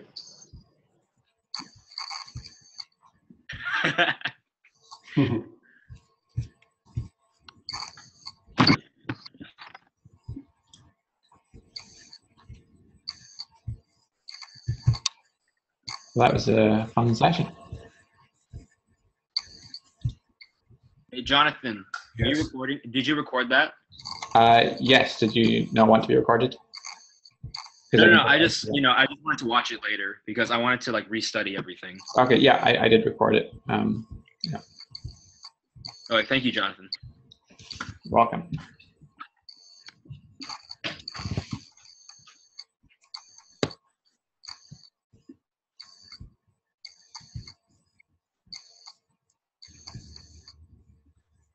One thing I was going to ask, uh, but he Cameron ran out ran out of time. Maybe this might be a discussion we could have. Is how to use this argument. Um, when I was an atheist, there were you know there was some there were some arguments that were used. Some uh, were good, some were not so much. But there were some arguments that were never presented to me that I can remember. And I heard about them after I became a Christian, and I, I thought about them. I wonder how good that argument would have been had I heard it as an atheist. And two of them are Pascal's wager and the argument from desire. and I have thought, okay, if I heard Pascal's wager as an atheist, I don't know that that would have convinced me. Uh, and so I've been thinking about the argument from desire. After becoming a Christian, I see it but as an atheist, uh, I don't know. So, when do you think would be a good time to use the argument from desire as an argument with uh, with an atheist? I personally wouldn't because there's so many stronger arguments out there to choose from. Um, slightly unlogical argument, yeah, it might be a valid and sound argument, but there's plenty of stronger ones to choose from that are far more persuasive and uh, compelling. Yeah, I've been trying to think of how I would use it because I think it's true, but I didn't didn't know it was true until after I became a Christian. So I'm just not sure how uh, how persuasive it would have been before I believed that there was even a God. Hmm. Um, folks, if anyone else wants to join the sort of after show further discussion, then just raise your hand and I'll fit you in the panel as well. One thing that a friend of mine uh, observed was that people could be convinced that, for instance, Jesus rose from the dead bodily, but still not get the big picture of why that mattered with regards to their salvation or why they would need to submit their life to that kind of uh, person. Um, and so I think that these kind of arguments can be helpful at getting deeper into our humanity that is like engaging our heart in some of these questions that otherwise atheists and other people or even just uh, nominal believers uh, might not really they might not really be engaging in this. And so that these these kind of arguments can be helpful in thinking about us uh, our, the reality of the things we're talking about. So it's almost not maybe per se the best argument for bringing up in favor of God's existence, but for why this matters. If all of our desires really can be satisfied, then that's a radically different kind of universe. And that I mean that that's a truth that, that um, or at least a possible truth that we need to take seriously because that means the good desire, like the um, that that, there, that greatness is possible. Um, just as a thought. Um, Does that make sense? In other hello, hello everyone. Go ahead, John. I think I'll put in a word now. Okay. Oh, three. Okay. Yeah. Uh, I think, well, Cameron said that this is not really a proof. It's only, uh, uh, what was this word? Uh, it points towards God's existence, but it's not a proof. It's not a, a deductive syllogism. Uh, I think I disagree. I think we can uh, make the argument from desire, well, we can turn it into a proof. And here's how I'm going to go about it. Uh, so, for one thing, uh, well, for that we'll have to uh, go to Thomas, Thomas Aquinas, of course. Uh, I think we can uh, change the argument from desire into a version of the fifth way. Fifth way is the Thomistic uh, teleological argument. Every agent acts for an end, and unintelligent agents uh, are you know, brought to an end by an intelligent agent. Well, we, we can go into that. Uh, so here's how I'm going to go about it. Uh, the human mind is intrinsically oriented towards being. Being is the principle which by which it knows everything else. Being is the first principle of our knowledge. Being both in potency or possibility and being in act, that is actual being, which we apprehend, which we experience. Now, and uh, so be uh, so truth is our apprehension of being, and good is our desire of being. So our desire, all our desires, can be you know simplified to a desire for being. Yes. Now, uh, now what we want, what all of us want, is you know being that doesn't perish. You know, we want to continue in existence. We, none of us really wants to die. Even people who you know uh, wish to you know kill themselves and suicide is the most irrational thing in the world uh, even those who want to commit suicide uh, if they were given say a magic wand which would you know erase all their problems in life uh, then they would uh, you know automatically do it no one uh, wants to you know just die simpliciter people even people who want to die they you know they're pushed to it uh, so what we really want is being which you know endures, being which does not perish, being which you know, being which enriches us. And of course, as we can see, nothing in space and time is that kind of being. All everything in space and time is contingent being. We ourselves are contingent beings. So yes, so uh, definitely our uh, you know desire towards being points us to you know necessary being uh, that's God. Now, uh, now, yes, then there's the question of whether this desire is, you know, something constructed by society or whether it's natural. Mm, you know, there are, you know, there have been recent papers which argue that, you know, we are, you know, neurologically wired to theism. We we have this innate tendency to, you know, uh, attribute agency to nature. We have this innate tendency to you know make you know all of existence all of reality personal uh, so yes uh, this uh, desire towards uh, you, our desire for god is indeed very natural so how did it come about yes you can bring in evolution and i really have no problem with evolution but uh, sorry Taito Sal. uh, yeah, I don't have a problem with evolution, but here's what we need to do to, you know, undercut the whole evolution uh, objection. Uh, that is, we need to show that the human intellect is immaterial. It's not something. It's not a body. It's not something which is, you know, made of atoms. Whatever. It's it's it's it's not a body. It's immaterial, and since it's immaterial, it's you know, uh, the human intellect. Uh, cannot be the product of evolution. Sure, the, the human intellect, though immaterial, depends on the brain, and the brain being the organ of uh, you know imagination, that is you know forming images. Uh, the intellect requires the brain to you know act, to you know know anything, except maybe being just plain being simpliciter. Uh, but the intellect itself is uh, something that well we need to go into you know some of the mm, you know the classical arguments for the immateriality of the intellect. Uh, I don't want to go into that, but since we all, you know, accept that the intellect is immaterial, yes, yes. Am I audible? I, I want to make sure I'm understanding. Okay. Does your, does your, is your, is your point relating to this argument from desire? Is that your point? Yes. Okay, okay.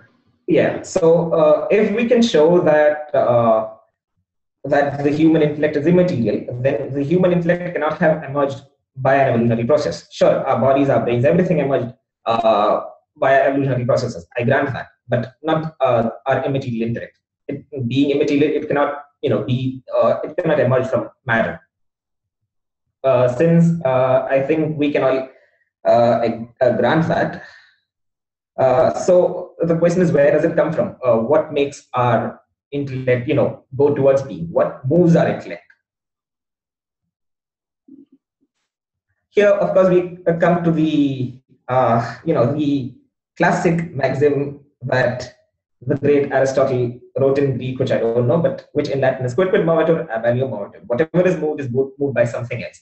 Our intellect, you know, in knowing something changes we have, you know, we gain a concept. So our intellect is moved. What is it that moves our intellect? What causes this change? We go uh, here. We can go into the first way, the argument from motion. Uh, so you know, uh, uh the intellect has a motion of its own, but since it is changing, it requires something to you know change uh, to for it to be changed. Uh, so since there cannot be an infinite regress of, you know, of movers which are themselves being moved, there must be an immovable mover. Mm. At Habissimus Deum, this mover we call God. Yeah, so it's we have gone into a version of the first way now, now the fifth way. But yeah, the first way and the fifth way are you know complements of each other. The fifth way is that every motion is towards an end. Every process, every change is towards an end. And the end toward, uh, to which we are moved is being. And there is something which you know uh, you know pushes us in that direction. And this being is pure god. Uh, but here's uh, here's where the first way ends. Here we go go into the fifth way. Now whatever gives you know this motion this orientation towards being must itself have being and it must have being since uh, you know, it must have being in all its fullness, right? Well, if you go from the first way to the fifth way, the teleological argument, uh, then uh, we can uh, very easily go to the, you know, uh, conclusion that not only is this being, this is since this being is also what moves the intellect, it is intellect itself, it's intellection itself. As the great Aristotle put it, uh, this, you know, pure act is nos noesis, thought thinking itself or well, the logos, if you will. Uh, and then, so, and this being this pure act is what draws us all. It, it, uh, you know, it is uh, as truth. It is, you know, as it as it presents, uh, uh as it as it uh, presents itself to our minds, our you know intellect. It is truth, and as it presents itself to our uh, will, our rational appetite, it is the good. So uh, so being is truth, being is good, and so he, uh, we have uh, already uh, you know established at least two of the attributes of God. God is intellection itself. He's subsistent intellection. He's pure nous, pure mind, and He's goodness itself. So yeah, that's that's the way I think we can you know turn this into. Mm, into yeah a proof and here's what i think uh, like we all know uh, cs lewis uh, well i wouldn't say he was a thomist since well uh, i've heard he was a hedonist and you know hedonists are not exactly into virtue ethics. But yeah he was definitely an aristotelian. Uh, if you've read uh, his works of fiction he has he definitely has very good things to say about aristotle. Mm, well i think this is well, I like to think this is exactly what uh, Lewis had in mind. The Aristotelian teleological, uh, you know, uh, metaphysics. uh, someone had said that uh, I don't know his name. Uh, he was there. Uh, the other uh, person, not Cameron. The other person. What was his name? You said who was the Sorry? other person? Yeah, the other person during the. Uh,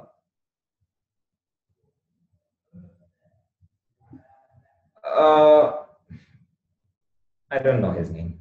Never mind. Uh, he said that uh, that you know for this argument to work, it needs a theistic worldview. Mm, not a theistic worldview, no, but an Aristotelian worldview, yes. And you can, uh, well, uh, you know, establish the Aristotelian worldview without assuming theism. You just need the principle of causality. In establishing the principle of causality, would take a little bit of work, not that much.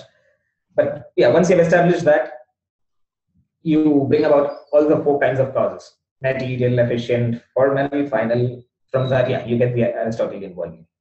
Bingo. Yeah. Now, this is the first thing I want to say. Uh, I think uh, we can also bring from this an argument for why the incarnation had to take place. But mm, I'll go into that after. If, uh, after you have, uh, uh, well, if you have any questions, I'll try to answer them. If uh, well, after that, maybe we can go into my argument for why the incarnation had to take place.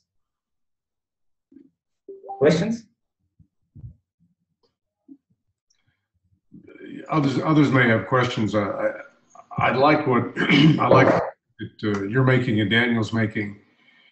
Uh, with an atheist, uh, this may not be a, a strong argument, but it is a way to take the argument from just intellectual to personal to experience. And uh, I agree, of course. Yes. I, I think I think that's important because a lot of times with an atheist, they want to stay intellectual. They want to. They, they don't want to dive into the personal, and when you approach that, they they get upset. So this argument from desire may be a way to get there uh, from the intellectual to the to the personal to the ex- Yes. Yeah. Uh, instead of appealing to the intellect, you appeal to the will. Yes. I get that, but uh, the thing is, uh, you know, well, well, coming from you know, uh, you know, the Thomistic worldview, we kind of, uh, you know, subordinate the will to the intellect. Mm, so I don't know. Uh, it's it's better if we show that this, you know, appeal to the will is, uh, you know, can be harmonized with the appeal to the intellect. We, we can make it into, uh, you know, uh, an argument for look, uh, everything's better if God exists, and we can also, you know, from the way we can jump into the intellect and we can show that yes, and guess what? This is how it actually is. God does exist. Not only is it good that God should exist, it is, uh, it's also truth that God exists. We can make that leap, but we need, you know, uh, to bring Aristotle into it. The great Aristotle. Cool. Um, one of the, oh, did you want to go? Sorry. no, please go ahead, Daniel. Um, one of the issues with bringing Aristotle into it, and I- think we'd be better off if we did bring Aristotle into it, uh, but one of the problems is that our society has rejected two of the four causes that Aristotle kind of put forward, and I think Yes. I think he might have been observing something real there when he said that there were not only uh, material causes and um, Efficient. efficient thank you. Um, but there's also the formal and final causes and we totally deny those because we think they're not necessary. We don't see that sophistication as being part of the real world. And so i think that this would be uh, almost an emotional barrier to this argument because we would automatically by we i mean our culture might automatically dismiss the possibility of our desires being um, having some sort of grounding or needing some kind of cause because we wouldn't even say that our biology and gigabytes of information in our DNA require um, require any sort of intelligent explanation. Um, and so and, and what I mean by that is is that um, we we think we can kind of just hand wave and say, oh well, there's this process of, of chance and there's this process of selection in some kind of ambiguous sense, and we think that's enough. I think that many people might kind of ambiguously have the same same um, uh, kind of response to both Aristotle's thinking as well as um, kind of this argument from though I don't think it's it's a good I don't think it's a good objection. Uh, this is what I have to say to that. Uh, the thing is that uh, you know every argument for God's existence, that is every you know good argument, every sound argument for God's existence depends on the principle of causality. Because uh, the the exception is the ontological argument, which I think is unsound. The reason for that you can read in the Summa Theology, of course. Uh, sorry. Yeah yeah so we uh, know god only as you know the cause of the effects we see. We uh, we can attain to a natural knowledge of god only as the creator of the world. Uh, for you know a personal knowledge of god as you know through you know revelation through you know in the church that's not uh, that's you know uh, that you know outside the scope of what can be gleaned uh, you know by philosophy so for this you know for to bring back the aristotelian you know worldview we need to really you know uh, uh, you know uh, prove the principle of causality which can easily be done of course but you know uh, we need to first you know uh, teach people what exactly you know scholast you know aristotelian scholastics you know what they mean by causality not you know one event following another event not the stupid Humean uh, uh, idea of you know billiard balls hitting one another not that if that's what people think causality is it's very easy to deny that the principle of causality is you know uh, is a universal it's a universal truth so yeah we'd have to begin from the principle of causality that's how you uh, you know get into you know you bring all the four causes that's how Aristotle did it. That's how we do it.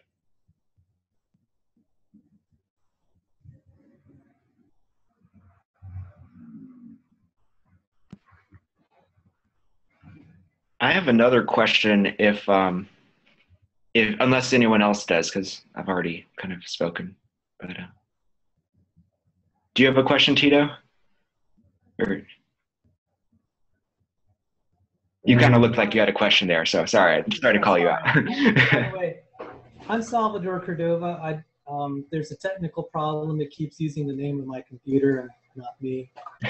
That's just who I am. Um, Hello. I, I feel kind of bad because I, I, I, missed most of the discussion. So I feel. Me too. Me too. I, I feel like I, I don't really have much of a right to say much. However, um, I don't use the argument from desire uh, mm-hmm. from God.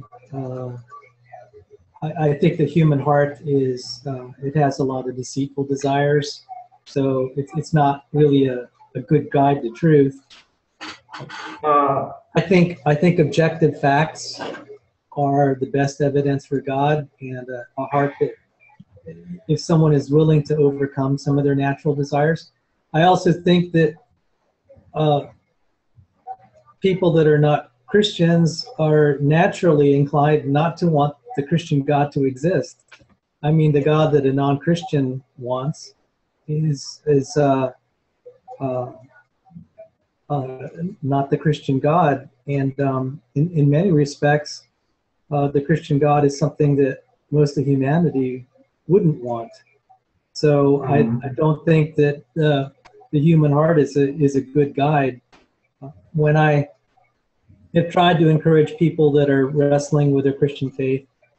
Um, I, I, usually use, uh, I found evidential arguments much more uh, powerful than than uh, philosophical. And uh, sometimes when God works in miracle, that that has more effect than anything I could say. Uh, one young lady I know that was an agnostic. Um, she came to become a Christian because uh, uh, she saw miraculously answered prayer for a friend that uh, was on life support. They pulled the life support. They expected her friend to die, but she lived. And uh, like a thousand people were praying for her. That's the sort of thing that, you know, no amount of words can can can have that sort of impact on on a person's life. So those are just kind of my thoughts. I, I don't have much beyond that. Uh, um, thank you, Tito. Uh, well, to that, you know, your words, you know, your point about, you know, the uh, uh, heart being, uh, you know, you know, heart being untrustworthy, deceitful. Uh, that's a quote from Jeremiah. Yes. Yes, that was from Jeremiah and also quoted by Jesus. And then Uh-huh. also in Revelation, uh, you know, Jesus being uh, God, um, people were asking mountains and rocks to fall on them. So, you know, their desire was that God not exist. Um, so, I get that. Yeah. Uh, you know, uh, uh, your your point is exactly why I said that uh, the argument from desire should be wedded to, you know, it, it shouldn't merely appeal to, uh, you know, the rational appetite, uh, the, you know, just the, the way it should appeal to the intellect as well. Because uh, you see, when you say that the heart is, you know, untrustworthy, uh, from my own Thomistic uh, point of view, I'd say that the heart is untrustworthy only when it, you know, submits the intellect to the will, and not vice versa. The will is to submit to the intellect, uh, and of course, the animal nature of man is to submit to the rational nature of man. Uh, all the uh, that's where you know we as a race have failed. People today, they're exactly what Aristotle said. Most of them are no better than beasts. Mm. But yeah, uh, uh,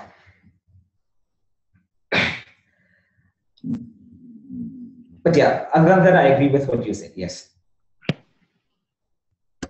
I mean, I think we can make the argument from, uh, I mean, um, if someone feels a need for something, like uh, uh, they're uh, in desperate need, then there's really not any argument to be made. I've known a lot of atheists who said, well, you know, go ahead and pray for me. I'd appreciate it. And I mean, that wasn't a full statement of faith, but it, it does indicate that they, they know they have need.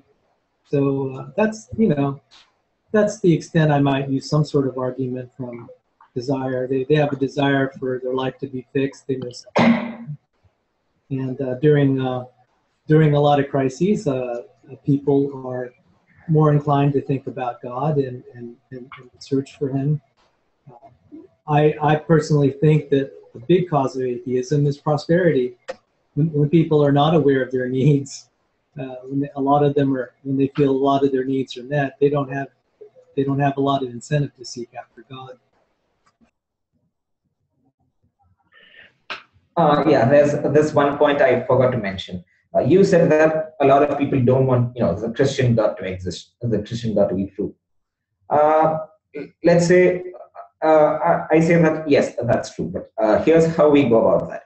We, like I said, you know, you uh, you uh, you first not only do you appeal to the principle of causality in you know wedding this argument from desire to you know you know in making it a proof.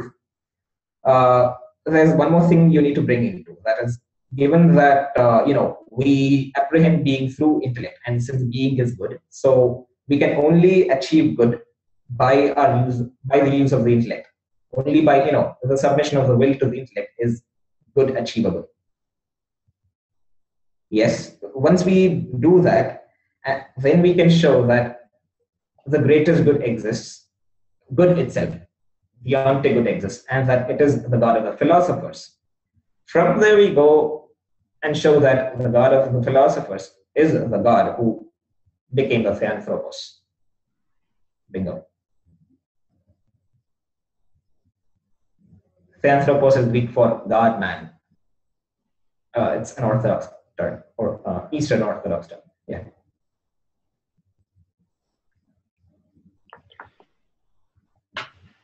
So El Salvador, um, were you here? So you mentioned you weren't here at the the very beginning. Um, did you hear Cameron talk about his specific argument? He gave three.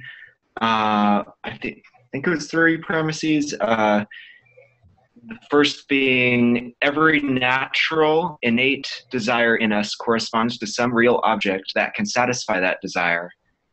The next premise is that there exists a desire in us that nothing in time, space, or on earth, um, no creature can satisfy. Therefore, he concludes, there must be something more than time beyond this earth and more than a creature that exists.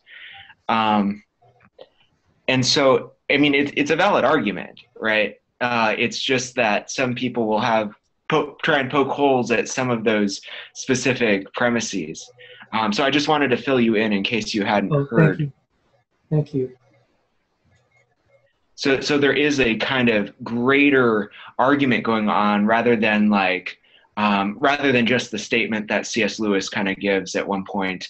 Um, you know, if the if the if fish had not always uh, what was it? Uh, you know, if fish did not always felt it that it was weird to be wet, would that not highly um, suggest that the fish had not always been or would not always be a purely aquatic creature? And it, it's really meant to kind of um, kind of draw something out of you, uh, draw your desire for. Uh, awaken your desires, um, and I think I don't know. There were different thoughts that the Inklings had. and I'm not well versed enough to kind of go into all the their their intellectual thoughts, but there there's something to this integrated take, I think, on reality, and this is something I'd like to present to this small group here. Just, um, I mean, just right now, is that I think that if God really is the one behind reality, then He made all the different personality types um, he is vested in a certain sense, uh, he has invested his own image into us as his creation. And I think this is a great intellectually and intellectual starting point for people who want to consider um, consider not only just strict uh, logic and reason, uh, which is something I love to do, but um, also to take seriously what other people of other personality types, and here I'm oh, what what they take seriously. And so here I'm referring to actually my favorite, the, the Myers-Briggs personality type, and there's four different basic types. There's artisans who desire who, who are um, really geared toward uh, toward happiness and kind of uh, living in the present. There's guardians who value authority and, and justice. And there's uh, idealists who value identity and rationals who value uh, thinking. And so um, I think that that God, in His greatness of character, has made um, all four of these personality types pursue something that is real because it's grounded in Him. Um, and so here, this is just an idea, but uh, and I'm I'm kind of take it with a grain of salt here, but I think that uh, as thinkers, this is really exciting because that means we can we can think about um, some of these varied concepts. For instance, desires not only from an intellectual perspective, uh, but from a desire perspective or from a justice perspective, and they can all have a grounding in reality and i guess that's what i'm saying is is somewhat unique in the christian perspective um, or at least in the theistic perspective um, is that that there is someone to ground uh, these pursuits of humanity in a way that a purely atheistic world couldn't. And so this is a separate argument than the one that Cameron was giving, or it's not even an argument. It's just a, it's just kind of a thought project I have going, and I'm hoping it leads somewhere. But thanks for letting me share it with you guys. oh, thanks. Uh, well, uh, my my view is that um, a lot of people clearly know that something's amiss in the world. They know that, you know, they feel pain. You know, they they feel pain at some point in their life. So then, at some level, they know that there's something wrong. And for me, the Christian God is is a very good explanation for. Uh, it reconciles the fact that we do feel pain but we also see design and structure in the universe like um, the world was constructed by a mind. And so um, I, I, think the argument from, from, from desire is not as complete an argument as I would like, that I would present. I would say that each of us knows, each of us feels pain at some point in our life, or we know someone that feels pain, and we just know that that something's amiss. It shouldn't be that way.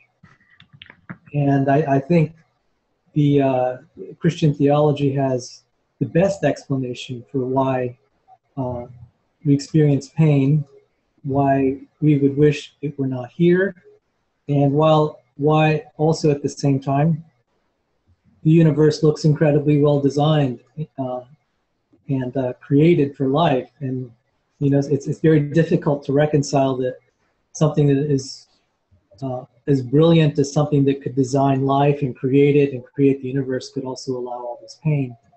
And so I think um, our desire to, to not have pain does point to to something needing resolution, uh, an explanation. Um, C.S. Lewis also said pain is God's megaphone. So, um, uh, you know, pain does create desire for the absence of pain. So uh, that that's kind of kind of my view. I, I think that um, uh, I would just make a variation on the, the argument from desire for God's existence. I would just say that we have a desire uh, we have a desire to understand the reason for pain and why it's there, and that might motivate someone to seek an explanation.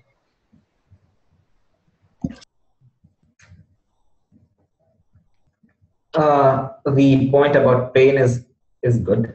Uh, there's one more thing I'd like to add. Uh, we not only have a desire to you know escape pain, we also have a desire to know.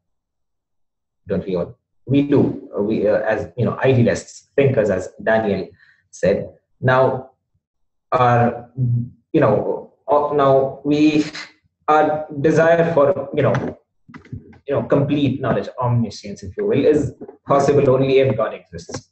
And if this is the and if this god is the christian conception of god the god who you know uh, allows uh, you know created persons to participate in his energies uh, you know uh, what uh, the uh, orthodox call theosis and what catholics call deification.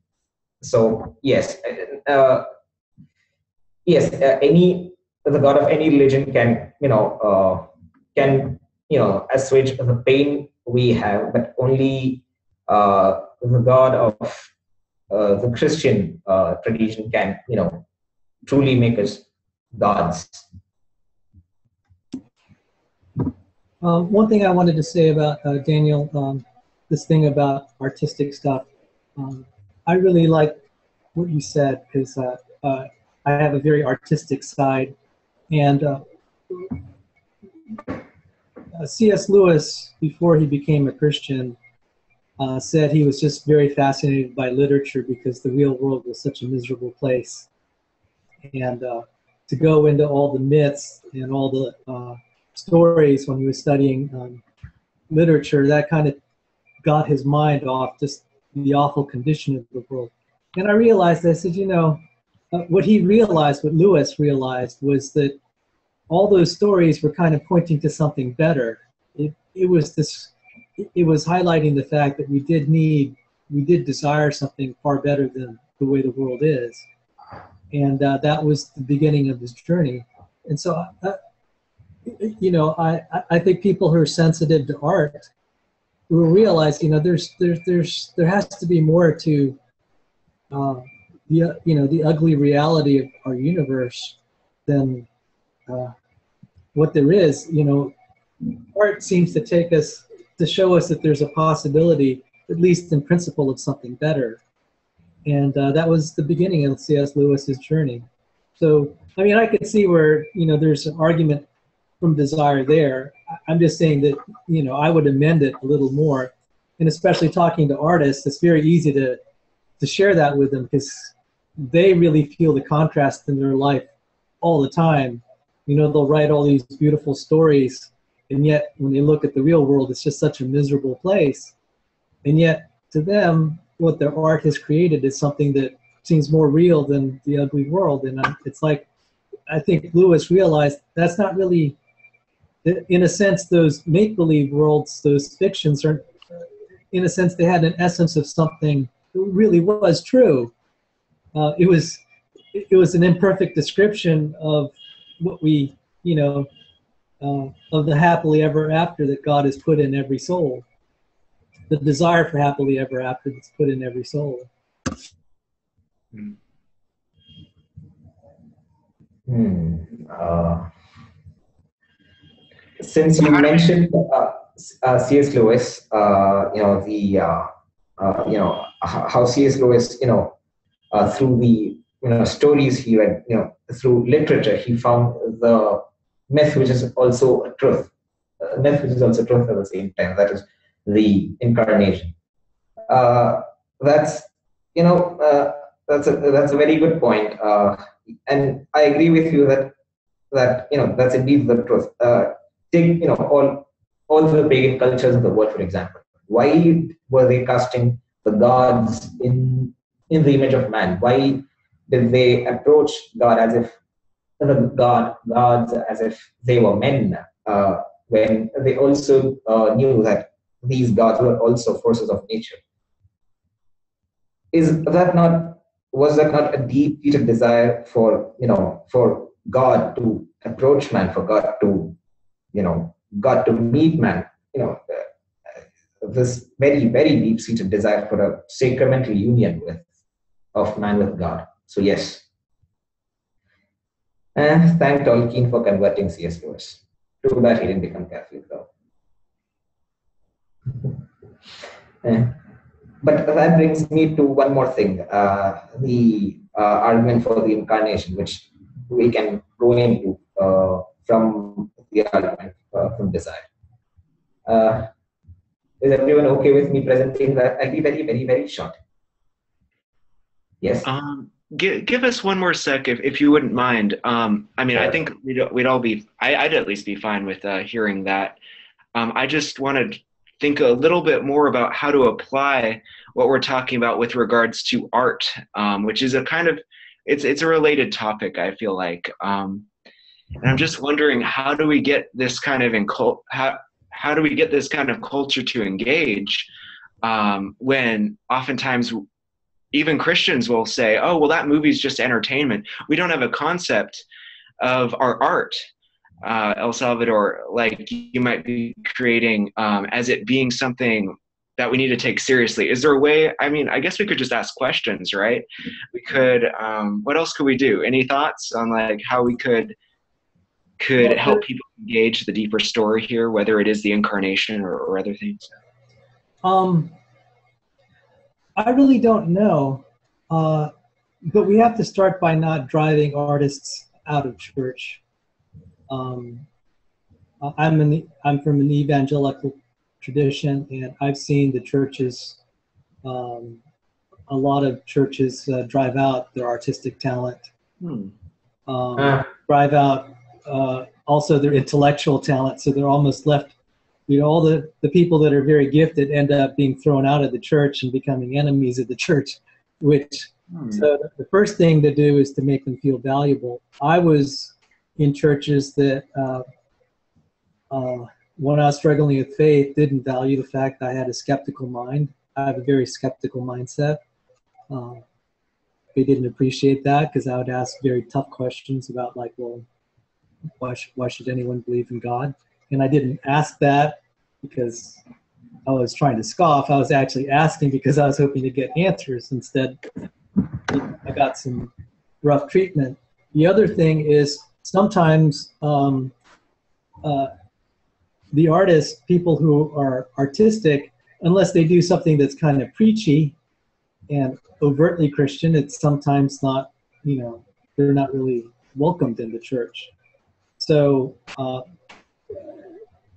for example, if we look at the Chronicles of Narnia, it's not overtly a Christian work, but uh, you know, uh, I mean, people who are Christians will recognize uh, the Christian themes in it, but they're they're you know, it made it a good uh, what made it a good series of uh, in literature was it was just really good literature. The same would go for music or anything else. Um, I think these people have to be welcomed in the church, and if they decide to be in secular entertainment, they shouldn't be thrown out of the church because they're not being preachers, so to speak, in their literature. so that's the first thing. Um, um, but I, I do, I think, I think there, I, I would love to see more a development in the philosophy of art. Uh, I have, I'm kind of an amateur philosopher of art, and uh, I have opinions about um, uh, constant, you know, why we were attracted to certain things in art, uh, particularly music. Uh, for example, I'm of the opinion that we're actually very wired to appreciate certain kinds of sounds, and we are revolted by others, and I don't think that's an accident.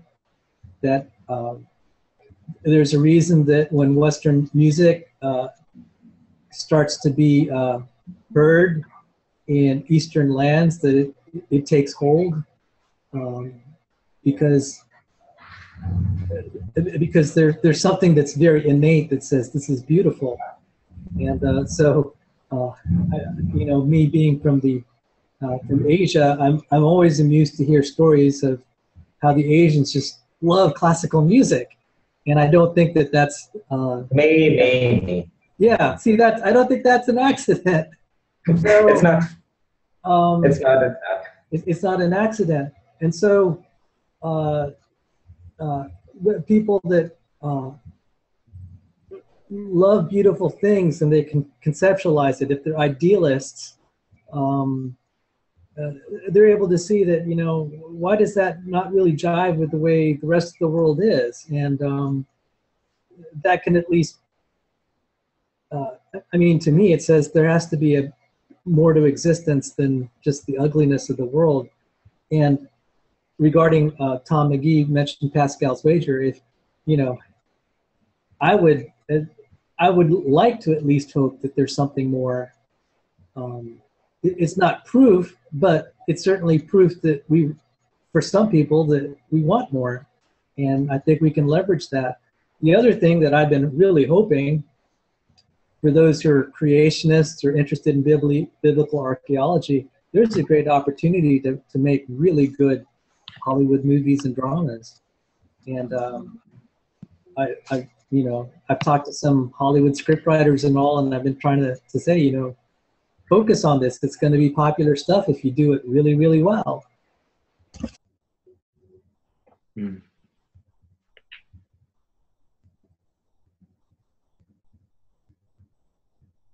So, how about I go into the argument I formulated for why the incarnation had to take place?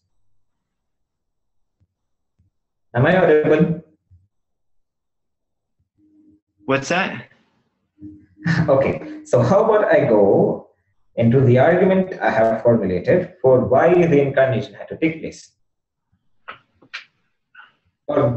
I just want to say, I thanks, uh, El Salvador. Um, yeah, I, man, I it takes me a while to formulate ideas. Um, but uh, you know, let me know if you end up uh, writing something on that topic. I just would be interested if you don't mind. Maybe I can. I don't know how I can message you, but uh, maybe find you in some way.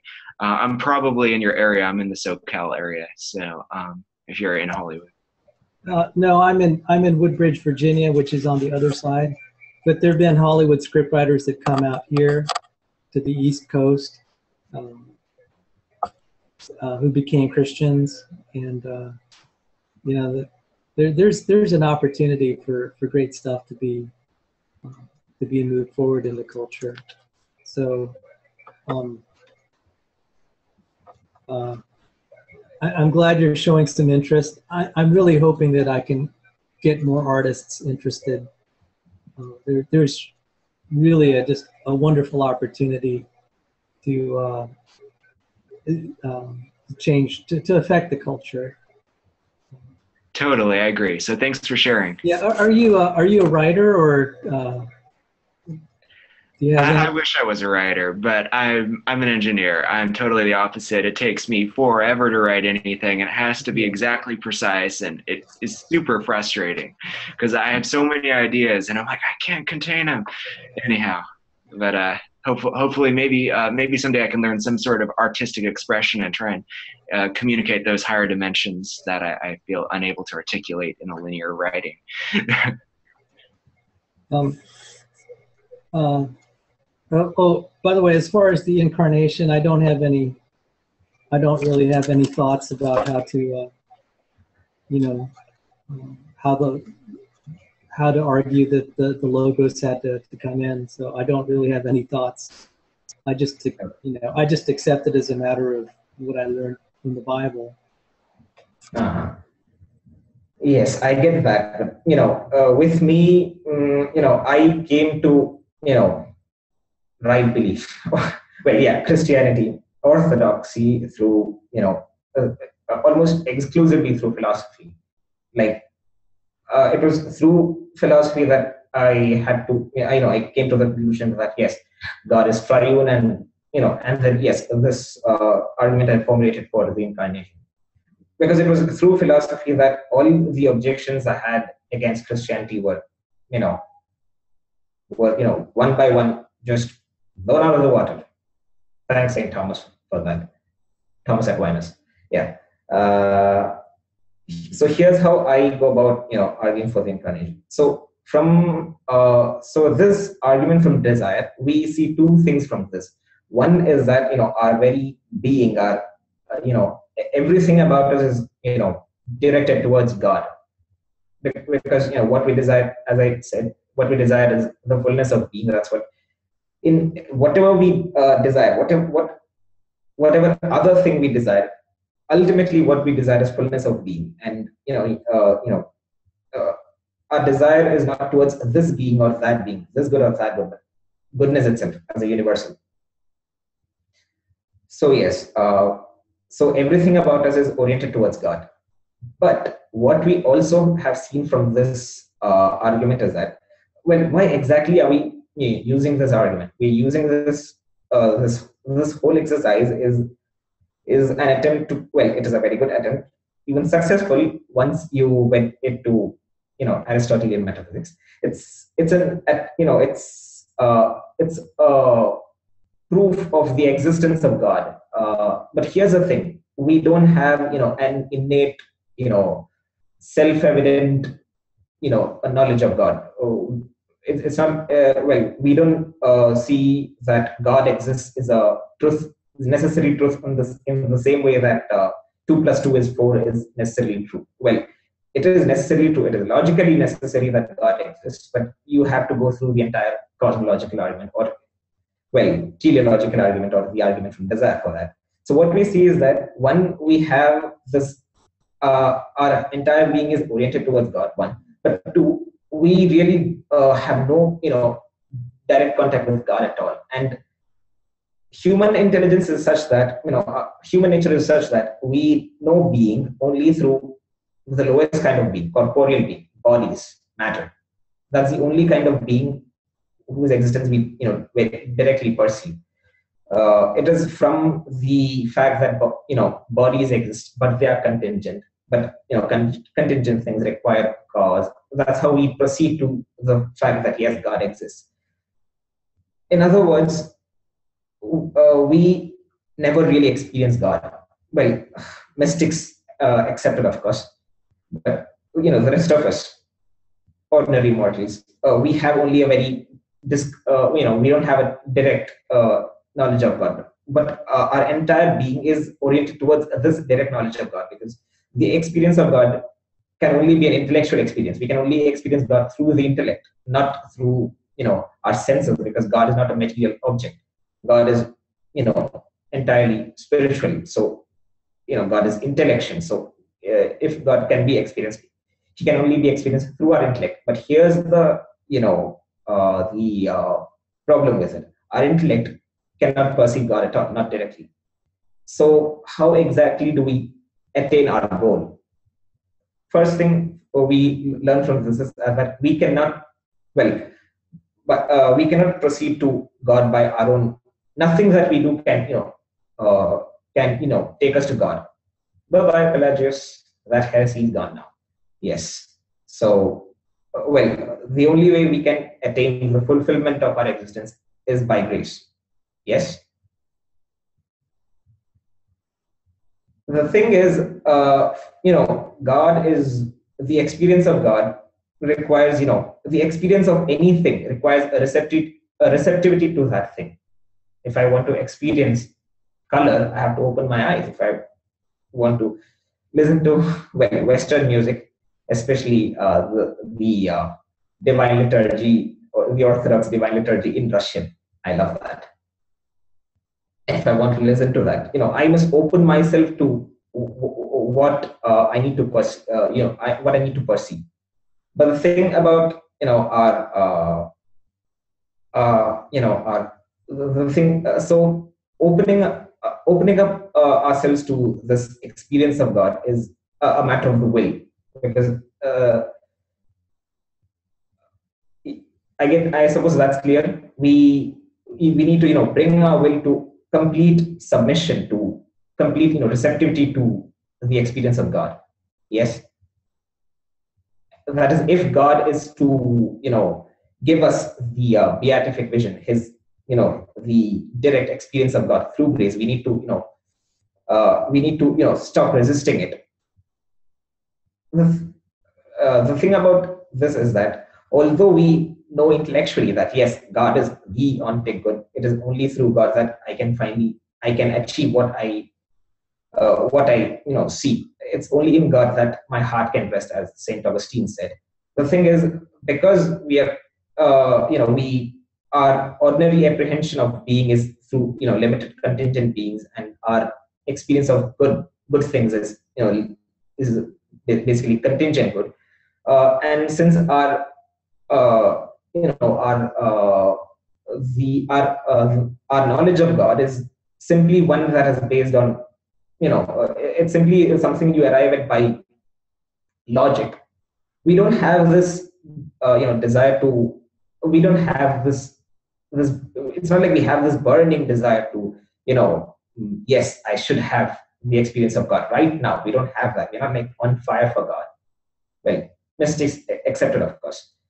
The rest of us, uh, and the rest. Well, since we all sin, and sin is where you know our will is divorced from the intellect that happens to us a lot. And the thing, uh, the thing about our will is, our will is, uh, it's what the, uh, it's, what the fathers call the gnomic will. It's, it's a will which is, it's, it's never steady. It's always, you know, vacillating from one contingent good to the other, and uh, it, it vacillates in this way because no, no contingent can, you know, fulfill the thirst of the will.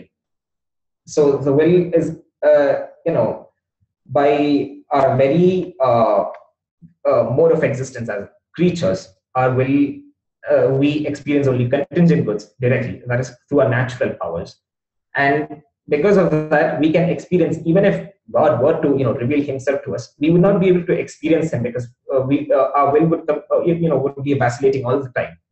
It you know uh, it's like you know for our will would have to be in you know stillness you know uh, what uh, the uh, Eastern fathers call hesychia, silence, or Saint John of the Cross, what he spoke of, you know, divine silence. That's when you, you know, you seek the um, you seek the voice of God.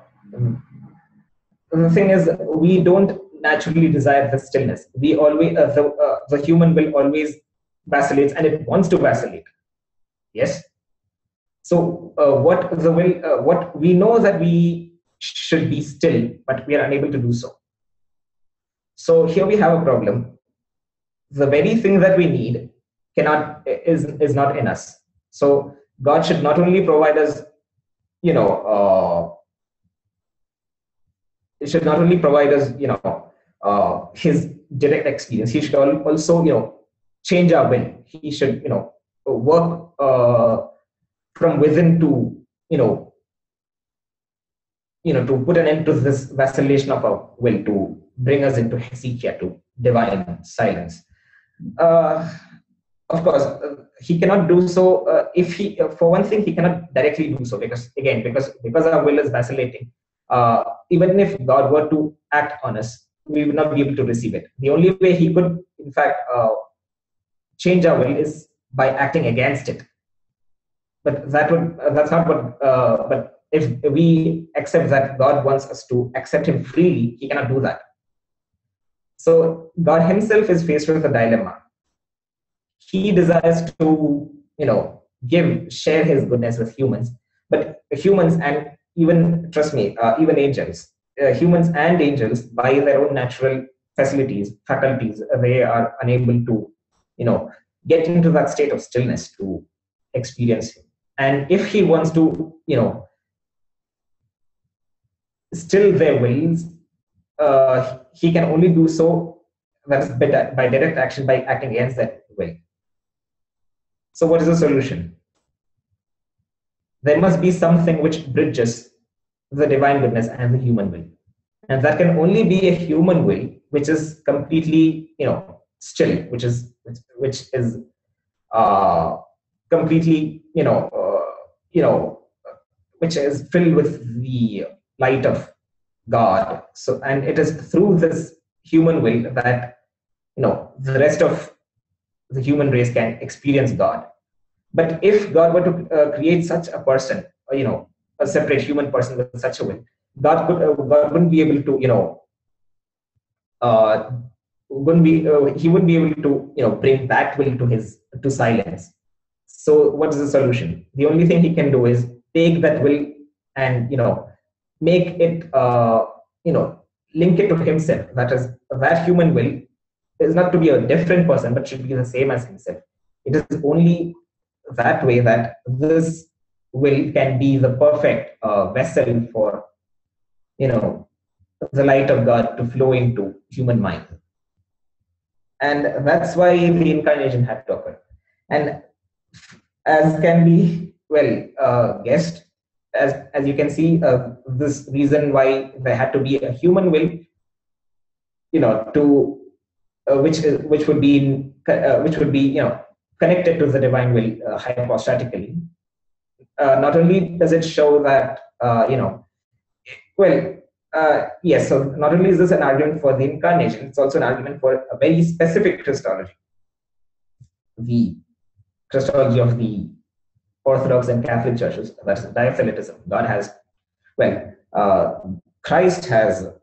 not only does it does he have two uh, not only does he have two natures, he also has two wills. He has a divine will and a human will, dyothelitism. That's what it's called. Uh, so yeah, that's the argument uh, as succinct as I could make it. The thing is, uh, I said that this is also how, uh, you know, what about the angels, you might ask? Uh, I don't know, but mm, if we look into the Psalms, we see that uh, the manna which God dropped from heaven is called the food of the angels. Psalm 78, I think. I could be wrong. Uh, he fed to man the food of the angels, something like that. Uh, so yeah, even angels had to, you know, attain to this uh, experience of God by by grace. Yeah. No, that's about it. Hmm. As succinct as I could make it. Any objections? Um, well, that's uh, that's nothing that I, I, I delve into. I just uh, I, I just accept the incarnation and, and grateful for it. Um, I tend to look more uh, in the Old Testament mm-hmm. uh, that, that shows the scriptures pointing to, to, to Jesus Christ. And um, that's kind of more of where my focus is for the incarnation.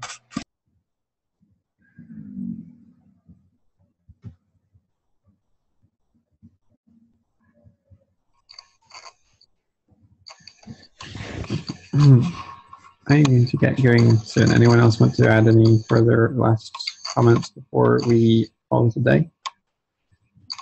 Um, I just, I really, I really wanted to thank you for hosting this, Jonathan. Uh, yeah, thanks. Um, it may sound funny, but I thought I really wouldn't get a lot out of the Aaron Ra thing last week, but I, I got a lot from it. Because uh, I, deal with a lot of uh, with people who are on the fence that are confronted with the same questions, and and it's good practice for me to at least think through how I would deal with some of the the things that Aaron Ra brought up. I mean, when he started talking about the uh, when he mentioned the talking snake and the talking donkey, I said, you know, that's a really good injection. You know, how, am I going to answer that when Christians who are You think that's a facing good objection? pose- You thought that was a good objection? I'm sorry, I didn't. Uh, I, I hadn't listened to that. I came late. What was the objection exactly? The this talking down the objection. There wasn't a formidable objection at all. Oh, well, what was it then? Oh, Aaron Ra is an atheist. He spoke last week, and saying, well, what evidence do you have that a that a donkey talk or that a snake can talk? Do you really believe that? You know, why why should I why should I believe that? And I thought that was a really good. Um, that's a really good thing for a Christian who's trying to defend the faith to be able to answer. I'm not going to say whether it was a good objection or not. It's a good question I think it's a question that a Christian who, uh, particularly an apologist, should be capable of giving a credible answer for.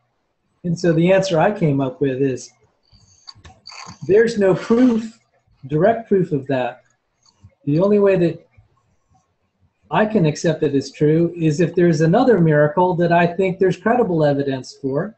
And if I have credible evidence for that miracle, um, then I can believe in other miracles. And if an account, if there's an account in the Bible that um, I can't directly verify, I'm willing to believe the other parts of the Bible if there are parts that I can verify, like the resurrection of Christ. So, or the origin of, you know, the miraculous origin of life. Then it becomes possible to believe these other things that we don't have direct access to in terms of proof. So that's my answer to Aaron Ra. But I really had to think about it. I said, I can imagine that there are Christians out there that are wrestling with those questions. I certainly have. So uh, I just wanted to, to thank Jonathan. I know that, uh, uh, you know, some people are pretty upset with Aaron Ra, and I'm like, I really am glad to have someone that's first rate. Uh, atheist side, trying to challenge us. Wow. I, I enjoy the debate. I, I wouldn't call Aaron Ra first rate personally. I don't think he's that great, to be honest. But um, Wait, seriously, that was the objection? That was the objection. That was the objection by this. Uh, yeah, I've heard of Aaron Ra. That was his objection. Yeah, and I'm, I'm not dismissive of dismissive of it because there are a lot of ordinary people that that's the reaction they would have. It doesn't have to be an intellectual argument, but I could tell you that when I was sharing the sharing um, the gospel on campus, I mentioned Adam and Eve, and people just turned away. They just walked out of the room. They said, "Yeah, you've just lost all your credibility." I said, "Okay, that's just the way it is, you know. Uh, just have to deal with it." Uh, I guess Aristotle's right. well, next week we have uh, Dr. Michael Brown coming on to talk to us about messianic prophecy. Let's see if I get it in there, inshallah.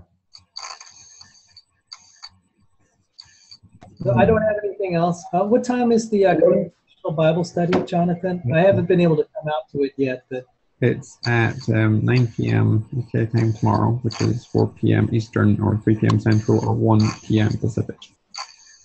okay. I, I might try to come out. So I really thank you for doing this. It's really great training for me. You're And, welcome. uh, Good to have you with us. um, are you coming to the United States anytime? I don't have plans currently, but um, maybe maybe sometime. But um, if I do come, I will see you there. Um, just one administrative thing. Uh, we talked about Dr. Sanford's genetic entropy possibly being presented in uh, one of these Saturday sessions. Um, I can tell you he probably doesn't have the personality that would fit well with this format, but he has two assistants that can help. Uh, Chris Rupe and myself work for his foundation, and Chris Rupe is doing a lot of the a lot of the uh, genomic research, and then I'm at the NIH also doing research on the topic. So I know you have a lot of really good people. I don't know that we would qualify, but we're willing to offer what we know. Well, thank you. Appreciate that. So, um, um, I guess I'll see you guys if you want to join the Bible study. We're on tomorrow night um, at 9 p.m. UK time. Um, or um, Uh, Jonathan, one question, uh, question, if you will.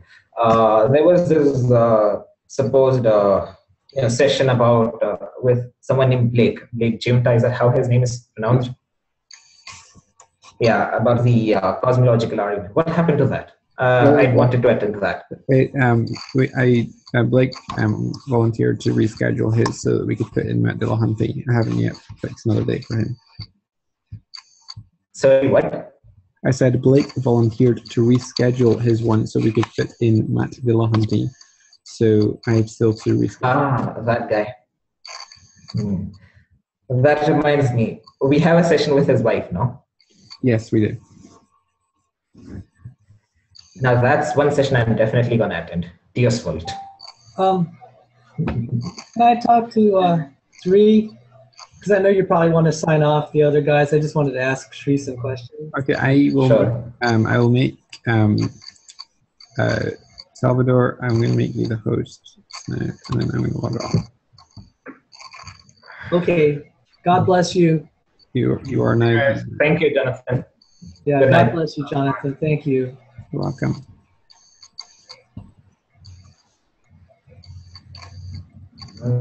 Yeah.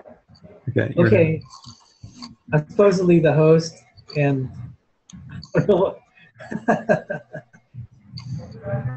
Do I have to press anything? Nope. I guess not.